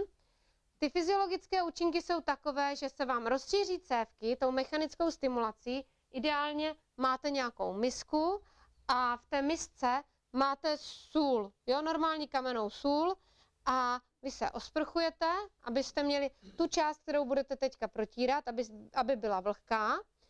Nejlépe je, když stojíte v lavoru s teplou vodou, abyste neprochladli, jako normálně horká lázeň vodou a nohou, ale stojíte ve sprše v tom lavoru s teplou vodou a máte tam misku soli. Jo? Osprchujete si ruku, jednu končetinu, vezmete si trošku soli a třete. Třete místo vedle místa, samozřejmě třete k srdci, jo? Osprchujete, sundáte, znovu osprchujete druhou ruku, znovu vezmete sůl a třete. Třete z obou dvou stran, třete až nahoru a zase osprchujete. Potom si vezmete, potom si osprchujete bříško, zase si vezmete sůl a třete. Ideální samozřejmě ve směru tlustého střeva, jo? To znamená zprava doleva. Takže třeté, anebo prostě takové uh, střídavé tření, zase znovu osprchujete, potom si dát, zase namočíte nohu, protřete zase od spodu nahoru k srdci, to stejné. Po druhé, a pak už vám zbývají jenom záda a obličej. Obličej zvládneme bez problému, zase protřeme, nabereme si trošku soli a třeme. To je nádherný peeling, který vám odstraní ty starou, starou vrstvu těch eh, buněk a, a omladí vám kůžičku, takže budete ji mít jako miminko hezkou, prokrvenou, ale záda ty si většinou nejsme schopni udělat. To možná tady tak ten zadeček ještě, jo, proti celulitidě, to jo, záda tady možná bedra, ale nahoře tam potřebujete mít někoho, kdo vám udělá tu horní část, zvlášť pokud někdo třeba trpí na akné na zádech a podobně, tak to krásně pročistí tu pokožku.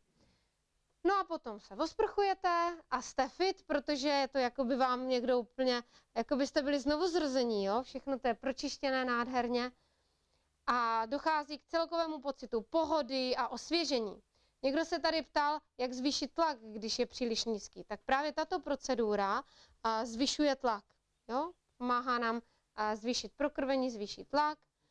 A také se dá použít jako prevence proti častým nachlazením, protože ta sůl vlastně má desinfekční účinky. A jinak proti takové slabosti nebo nízké odolnosti, když má někdo chronické problémy s trávením, tak zase můžete dělat i různé masáže, jo, tlakové na žaludek a samozřejmě protřít, tak eh, i tím pomůžete. No a pak u chronických chorob, jako je rakovina, cukrovka, epilepsie, atrofie svalů, se může tady ta procedura použít jako taková lehká stimulace toho léčivého procesu. Nepoužívá se, pokud je kůže nějak poraněná, to by vás spálilo, že když tam dáte tu, tu sůl, ani při nějakých akutních nachlazeních nebo oslabeních, spíše jako taková prevence, anebo jako peeling, který oživuje tu vitalitu té kůže. Další účinky jsou desinfekce od bakterií, posílení imunity a regenerace u ležících pacientů, aby neatrofovali. Tady vidíte, že mu to dělá terapeut, ale víceméně vy si to zvládnete udělat sami. Jediný, co nezvládnete, je, jsou ty záda. Ještě takhle si můžete možná udělat trošičku ty ramena a pak jenom ty záda na lopatkách. Když vám někdo udělá, tak je to fajn. Zase, máte u toho horkou lázeň nohou, tudíž ten léčivý efekt jde do tří oblastí a to je oblast bederní, oblast. Vy jste spali. Do jakých částí máme reflexní účinky, když si dáme horkou lázeň nohou? Výborně. Oblast bederní je léčená, oblast hrudní a oblast hlavy. Takže to má ten terapeutický účinek na orgány v těchto dutinách. No a také je to pro nás úžasná stimulace a, a oživení, povzbuzení. Potřebujete kilo soli, já nevím, to je pětikačka, to není nic tak drahého, žínku, do které vždycky tu sůl naberete, anebo normálně rukama se to dá nabrat. Jo? Takže ten postup jsme si řekli, musí být samozřejmě teplo v té místnosti, v té sprše, nesmí tam mít nějaký průvan v té koupelně. No a zakončíte osprchováním a zase je tam půl hodiny odpočinek, jako u všech těch procedur eh, vodních, které děláme. Řekli jsme si, že také pára je pro nás léčivá a ta se využívá například při saunování anebo při inhalacích. Inhalace se dělají tak, že si dáte horkou vodu buď do hrnce, anebo do hrníčku. Tady toto není zrovna nejlepší příklad, protože vy můžete spálit sliznice, jo? ta teplota vřící vody je, jo, ta pára ještě teplejší než ta voda, takže v žádném případě ne a horkou 100 stupňů, ale necháte vychladnout na takových a, 60 stupňů, jo, a potom teprve vdechujete, můžete si buď to vytvořit takovýto deštník nad sebou, a nebo si uděláte prostě jednoduše s rukou inhalátor, jo, a když máte nějakou tu skleničku, tak si vdechujete jak nosem, tak pusou, jo, abyste léčili ty sliznice a nosohltanu. No a na závěr po těch deseti minutách té inhalace omijete obličej studenou vodou, což vám zase uzavře ty pory, abyste udrželi to teplo v tom organismu. Když chcete léčivý efekt eh, zvýšit, tak můžete eh, si kromě té páry použít také nějaké esence, které eh, právě mají desinfekční účinek na dýchací cesty, což je například eukalyptus, že? Nebo tea tree olejíček, ten jste tady viděli, jsme si ho nechali kolovat, že? nebo můžete svařit uh, heřmánek, šalvěj, nebo existuje borovicová esence se zakrslé borovice, takže to se dá všechno inhalovat a dochází k čemu? Ta teplá pára nám prokrví sliznice, což sníží dráždění v krku, při bolestech krku a vlastně u zánětu nebo ucpaní nosu se nám krásně otevřou ty průduchy a ty dutiny vlastně se zprůchodní a pomáhá se odstranit ten hlen. Uvolňují se taky svaly při kašli, když má někdo takové ty dráždivé, a ten dráždivý kašel, ale taky u suchého nebo hustého hlenu pomáhá se vlastně ten hlen dostat ven. No a vlastně sníží se podráždění těch sliznic.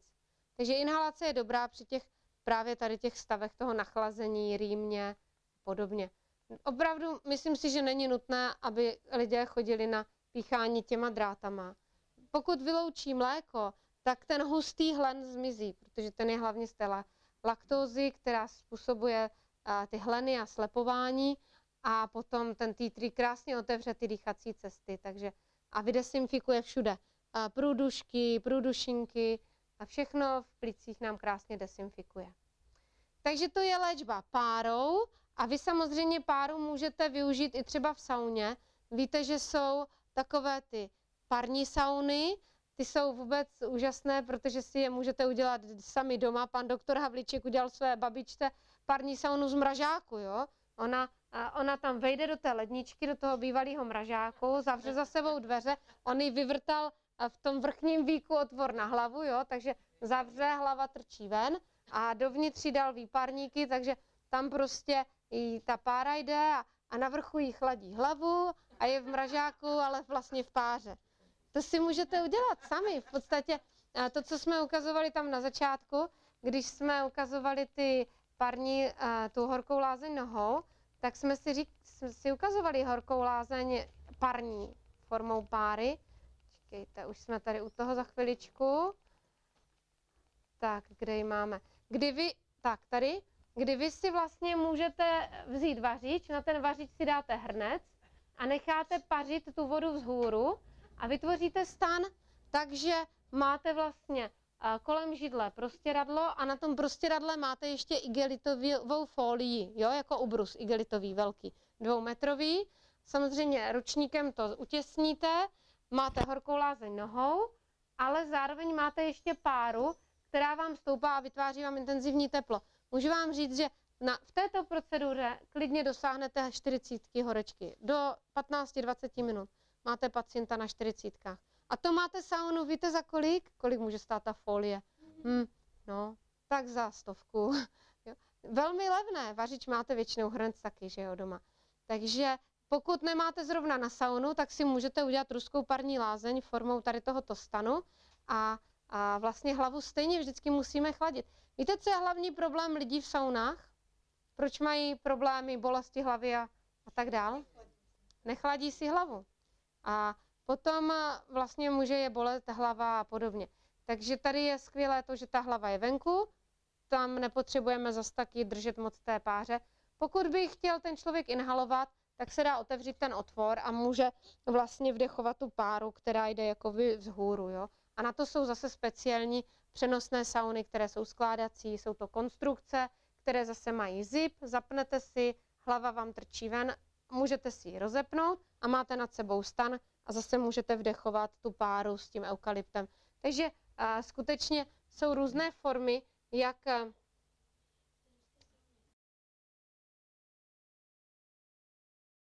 Já preferuju v sauně mít plavky. Někteří říkají, ne plavky, jo, když se bude potit. Aha. Buď to zabalený do prostěradla, jo, a, ale osobně si myslím, že pokud to není sauna zvlášť mužská a zvlášť ženská, že je to pod lidskou důstojnost a pod lidskou úroveň, abychom chodili do sauny nahý. Jo. Mhm. A jenom spodní prádlo, jenom bavlněné spodní prádlo má, samozřejmě je vyslečený. Určitě ne, prosím vás, v kravatě a v koši. Ano. Tepláky určitě taky ne. Normálně jenom, ano. Dobrý, ale dobrá otázka, děkuji moc. Takže eh, řekli jsme si o léčbě párou a pojďme si říct taky o léčbě ledem. Možná jste slyšeli o tom, že led eh, vlastně tlumí nervovou činnost a znecitlivuje nervy, takže vlastně odebírá bolest, že?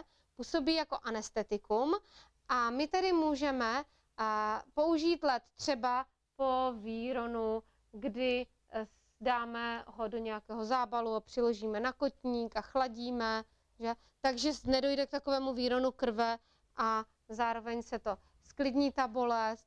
Ale my můžeme použít led také na masírování třeba nějakých hodně, hodně stuhlých svalů a spazmů, protože pokud dlouhodobě masírujete zmraženým ledovým vlastně, co, což to je sklenice, jo, a máte kelímek, ten kelímek dáte do mražáku a ten zmražený led vyklepnete z toho kelímku a tím potom masírujete. Jo. Dělá se to tak, že nejprve se tře rukou a potom se tře tím ledem. Jo. Když by třeba tohle byl pacient, tak já nejdřív třu rukou, pak ledem, rukou, ledem, rukou, ledem. A protože kdybyste jenom ledem hned ze začátku, tak ten pacient vám uteče, to by bylo strašně nepříjemné, studené, jo? A on si po čase zvykne na ten chlad a vlastně už potom nemusíte ani tu jednu ruku, už jenom mrazíte tím ledovým kelímkem. A po čase zkusíte jemně bříškama prstů se dotýkat toho místa, které mrazíte, zjistíte, že ne, nemá žádnou citlivost, jo? že jste ho úplně znecitlivěli. Samozřejmě máte kolem něho všude dokola ručníky, protože jak ten led se dotýká teplé pokožky, tak samozřejmě rozstává a všude tečou pro, pro, proužky vody, jo? takže to musíte sušit, abyste ho nezmrazili, všude jinde neschladili, všude jinde, jenom na tom konkrétním místě, kde je ten spasmus. A ve chvíli, kdy ten pacient už necítí žádnou bolest, necítí vůbec ani váš dotek, protože jste mu znecitlivěli tu vrstvu těch nervů, tak vlastně jste uh, už přivedli do toho místa tolik krve, jo, bude to místo celé červené, protože ten mozek dostane poselství strašný mráz, pojď to prosím tě zahřívat. A on to tak zahřeje, že ten příval té krve odplaví všechny ty odpadní kyseliny, které se tam soustředí a vytváří ty bolestivé spazmy. Takže to je ještě účinnější než masáž na rozbití právě tady těch spazmů, ano? Mhm.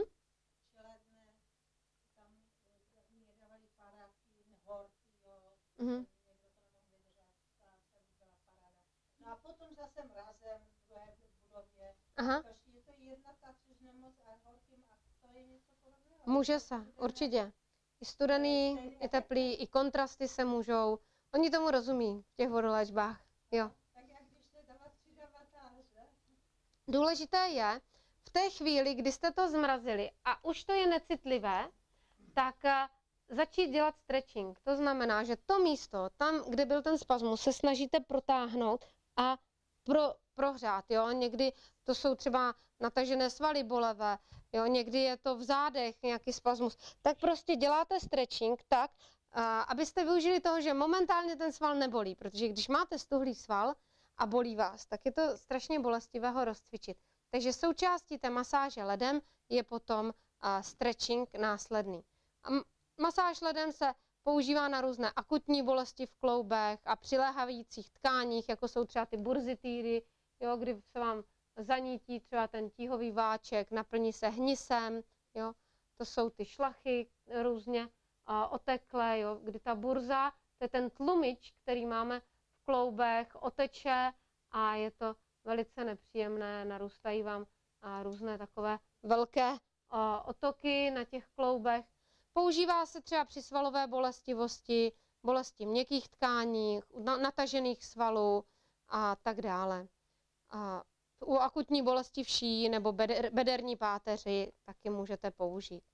Můžete u revmatické artritidy, jenom v podstatě na tlumení bolesti. Když to hodně bolí, tak můžete používat tady tu masáž ledem, nebo bolestivost v ramenou, nebo při cévní mozkové příhodě na lepší prokrvení.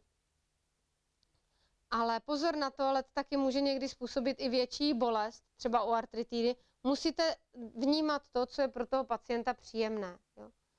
A taky třeba někdy se to používá jako reflexní terapie na zahřátí, jo.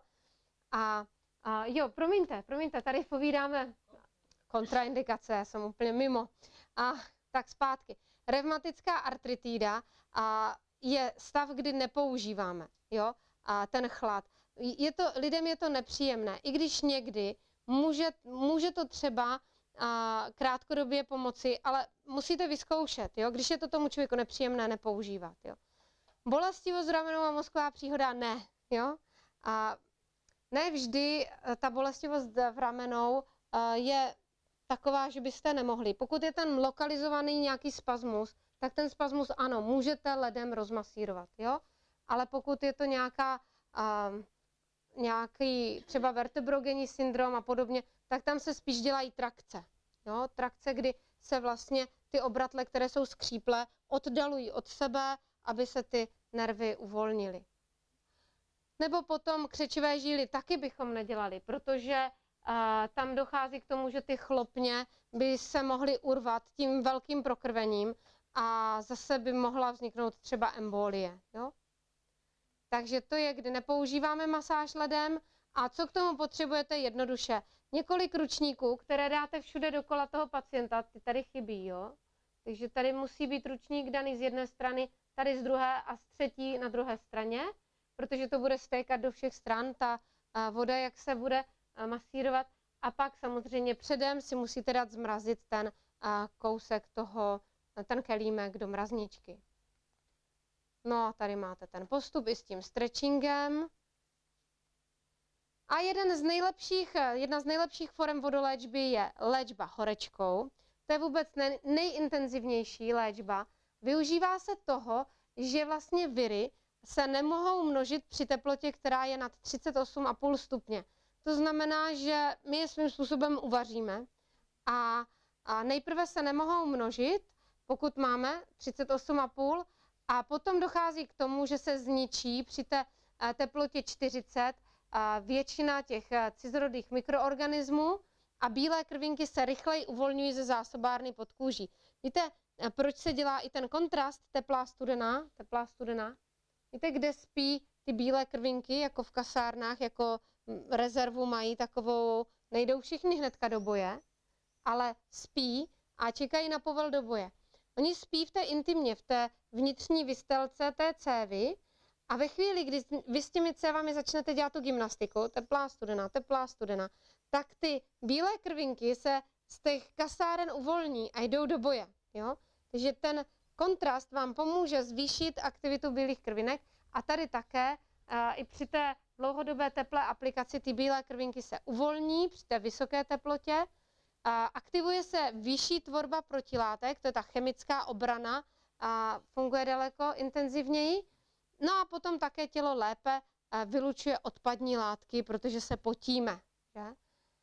A dochází vlastně k urychlení metabolismu a k vyššímu hojení. Takže z toho vyplývá, že horečka je vlastně pro nás velice prospěšná. To je náš přítel a tudíž nebudeme ji uměle snižovat, ale zase nenecháme, aby byla tři dny na úrovni 41, to v žádném případě, že?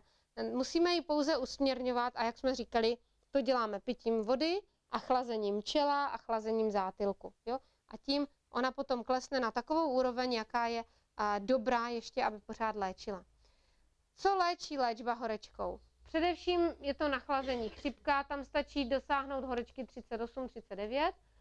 Vysoký tlak snižuje, protože vlastně pro krvi otevře ty, tu periférii. Dál virové infekce, jako je spála, herpes, protože my jsme si řekli, že ty viry nemůžou při té vysoké teplotě přežít, že? Takže vlastně, ať už je to spála, herpes nebo jiné viry, tak eh, můžeme je eh, vlastně paralizovat tou vysokou teplotou. Dále revmatoidní artritída, to je při eh, teplotě 38 až 39 stupňů, na ty klouby je to vynikající, že se prokrví. U rakoviny zase ideálně, když je to systémová rakovina, pokud jsou ty buňky všude, v celém těle, například leukémie. Máte ty buňky všude, jo, nebo Hodgkinova nemoc, kdy není ten nádor lokalizovaný. Ve chvíli, kdy je lokalizovaný, tak jsme opatrní s těma a, teplýma vodoléčbama, abychom ho nerozšířili krevním oběhem jo, po celém těle. Ale my jsme měli třeba pacienta s leukémií a ten dostal sérii 20 tady těchto léčeb horečkou a na konci, když si šel udělat testy, tak neměl ani jednu rakovinovou buňku. Měl krev úplně v pořádku. jo. A u sklerózy multiplex dělala jsem to jedné své kamarádce se sklerózou mu- multiplex a, a když potom byla na vyšetření, tak řekla, mně se normálně něk, úžasně mi stoupl počet bílých krvinek, jo, následný efekt tady té série těch, a, těch procedur. No a další nemoci, zase tu teplotu určujeme podle závažnosti té nemoci. Když je to jenom nachlazení, tak můžete mít 38, ale když je to e, třeba nějaká vážná nemoc, tak e, se snažíme dosáhnout až 40, kdy je ten imunitní systém nejaktivnější, jak jsme si ukazovali tu tabulku, jo? My ji uměle zvedneme. Když ji má, tak ji má a budeme ji jenom kontrolovat. Jo? Jenom ji usměrňovat, aby nebyla dva dny na čtyřicítkách, jo? Ale studený zábal, na zátylek na čelo, po případě na srdce, když je puls vysoký. Pojďme si to říct teďka ty bezpečnostní opatření. Když máte vysokou teplotu, tak samozřejmě musíte hodně pít. Minimálně litra až li- litra a půl se vypije během té celé procedury, té horké lá- lázně nebo té léčby horečkou. Jo?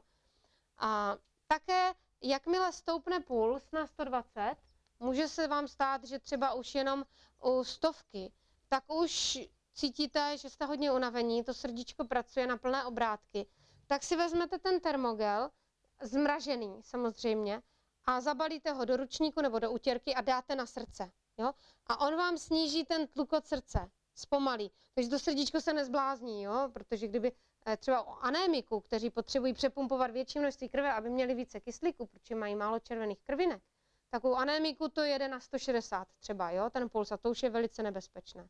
Takže u anémiku musíme být opatrný s léčbou horečkou a dát každopádně studený zábal na srdce, abychom tlumili ten puls, aby byl tak kolem těch 130, jo. Jakmile by přeskočil 150, tak už musíme upustit z vany teplou vodu a připustit studenou, ne, že ho necháte máčet ve studené vodě, to ne, ale snížíte tu teplotu na vlažnou, jo. No a potom dáme a, sáček s ledem do zátylku, jak leží na té vaně, vytvoříte mu polštářek mrazivý, jo, a také přes hlavu mu dáte normálně ručník, takhle přes hlavu jako babušku mu dáte ručník a přes ten ručník budete normálně nalívat mu na hlavu studenou vodu z lavoru s ledem. Jo? Chce to takhle intenzivně chladit tu hlavu, jinak fakt ho bude bolet hlava. A proč mu nenalít tu vodu na, rovnou na hlavu, když je ve vaně? Že jo? Tam to nevadí to. Stejně steče dolů a je to jeden z nejlepších způsobů, jak přenést teplo a intenzivně. To byste se uchladili, kdybyste měli pořádávat jenom, za, jenom žinku. Jo? Tady musíte velmi intenzivně, dokonce i někdy se dává větrák proti tomu člověku, protože jediné místo, které můžete chladit, je hlava a srdce. Jinak celý člověk je jak v rozpáleném písku v horké vodě ve vaně. Jo? A tom potřebujeme, aby jsme celkově zvedli tu horečku, aby ta imunita se rozproudila na plné obrátky. Jo? Samozřejmě my musíme každých pět minut měřit teplotu, měříme i v ústech pod jazykem a ideálně, když si napíšeme tabulku, tam napíšeme teplota pacienta, teplota vody, puls, jo? Aspoň tady tyhle ty, můžete napsat i dýchání, frekvenci dýchání. A vlastně každých pět minut sledujete, jaká byla teplota pacienta v ústech, jo? Jakmile přeskočí 39,5 v domácích podmínkách, v nemocnici děláme i 40, jo? ale v domácích podmínkách 39,5, tak uh, budete se snažit už tu vodu více nezahřívat a dobře, dobře chladit a dávat napít, jo? A nebo držet to na těch 39,5, jo? A držíme to po dobu půl hodiny, protože nestačí jenom tu horečku zvednout a zase pustit, jo? Ona musí chvilku ty viry povařit, jo? Takže vaříme aspoň půl hodiny. Kellogg, víte, jak dlouho Kellogg vařil ve svém sanatoriu? Lidi v léčbě horečka. Sedm hodin. ono to muselo být šílený. Takže, takže my jsme opravdu míru milovnější půl hodina. Když je někdo hodně vytrvalý, tak třeba tři čtvrtě hodiny, jo, a hodinku. Ale, ale půl hodina vám stačí na to, abyste ty viry trošku povařili a, a zase za dva dny to opakujete znovu, jo, dělá se to v sériích. Jedna horeč, léčba horečkou to samozřejmě nezabije všechny ty, ty viry, že? ale postupně, protože po té léčbě ještě a, neustále stoupá hladina lymfocytu a zůstává na vysoké úrovni neutrofily a jiné buňky, takže to neděláme každý den, to by nás velmi vyčerpalo. To je hodně vyčerpávající léčba. Jo? Hlavně nezapomenout měřit každých pět minut, jo? A teprve až potom, co změříte v ústech, dáváte napít. Jo? Nedělejte to naopak, jinak změříte teplotu toho nápoje v ústech. Jo? Takže nejprve, nejprve změříme teplotu a pak dáme napít. A je to vlastně v takovýchto fázích, kdy prvních 20 minut stoupá teplota vody a tak stejně stoupá i teplota pacienta. Potom se snažíme těch půl hodiny, těch 20 minut, vidíte po pěti minutách měříme teplotu, to je každé to měření, ten čtvereček. Snažíme se půl hodiny vydržet, tu, udržet tu teplotu, toto je moje vodoléčba, takže já jsem měla 39 ze začátku, pak mi stoupla na 40 nějakou dobu a pak jsme byli zase na 39, 9,5, jo? Takže jakmile se podaří půl hodinu udržet na 39 nebo na 39,5, tak pak je poslední fáze, zase 20 minut chladíme. Jo? 20 minut ohříváme, 30 minut držíme, 20 minut chladíme. Jo? A je to velmi intenzivní léčba. Možná, že se divíte, proč tady, toto je teplota vody, to modré, proč tady ta teplota vody šla dolů, ale teplota pacienta zůstala. Protože většinou se teplota pacienta přizpůsobí teplotě vody, že jo? Když je to proto, že my jsme měli virpuly. Virpule, mechanické působení, zvýší teplotu. Jo? Jakmile máte uh, třeba bublinky, vlázní možnost, jo, tak nemusíte mít tu vodu tak vysokou, ale tím, že mechanicky dráždíte, tak ten tepelný efekt se přenáší intenzivněji. Jo? Tak, tak to je jenom na vysvětlenou. Ale vy doma virpuly nemáte. Vy byste museli mít teploty vody minimálně na 40, abyste dostali, ale ideálně 43, uh, abyste dostali pacienta na 40. Jo? Protože teplota těla se přizpůsobí teplotě eh, vody. Tak jo, takže potom po té léčbě eh, se dobře napíte, osprchujte a chladíte zase čelo a půl hodiny odpočinek. Jo? Nezapomeňte, že Pán Bůh nám nedal jenom vodolečby, dal nám celou řadu dalších léků a nezapomeňme, že je to právě On, který používal vodu, aby navrátil lidem zrak k nemocnému řekl, jdi a umí se v rybnice Siloé. A on je také ten, který posvětil používání vody a řekl, že a, skutečně je to úplně jiné, než používat chemické léky. A to je ten jiný způsob léčení, který Ellen Whiteová psala doktoru Kellogovi, že v našich institucích by měl být používán. Takže rozumět vodoléčbám je pro nás velmi důležité a vy sami pro své zdraví, pro svou rodinu ale i pro přátelé můžete se tyto jednoduché procedury naučit a doporučuji, velice doporučuji udělat si ten kurz vodoléček, protože něco jiného je, když já vám řeknu, ta procedura se dělá tak a tak, ale něco jiného je, když to zažijete na sobě a zjistíte, že vám ten váš terapeut špatně chladil hlavu a teď vás bolí hlava, nebo že vám dobře neutřel nohy a vy jste šli studenou jo, a strašně vás to chladilo. Zjistíte spoustu věcí, které byste nezjistili, kdybyste si to nevyzkoušeli na sobě. Pokud chcete být dobrými terapeuty, tak doporučuji, udělejte si ten kurz vodoléčeb. Je to jednou za dva měsíce. I kdybyste přijeli jenom takhle, tak se to dá vystudovat a pak už aspoň se nebudete cítit a nebo nebudete dělat základní chyby. Tak jo, tak já vám děkuji za pozornost a přeju vám hezké odpoledne.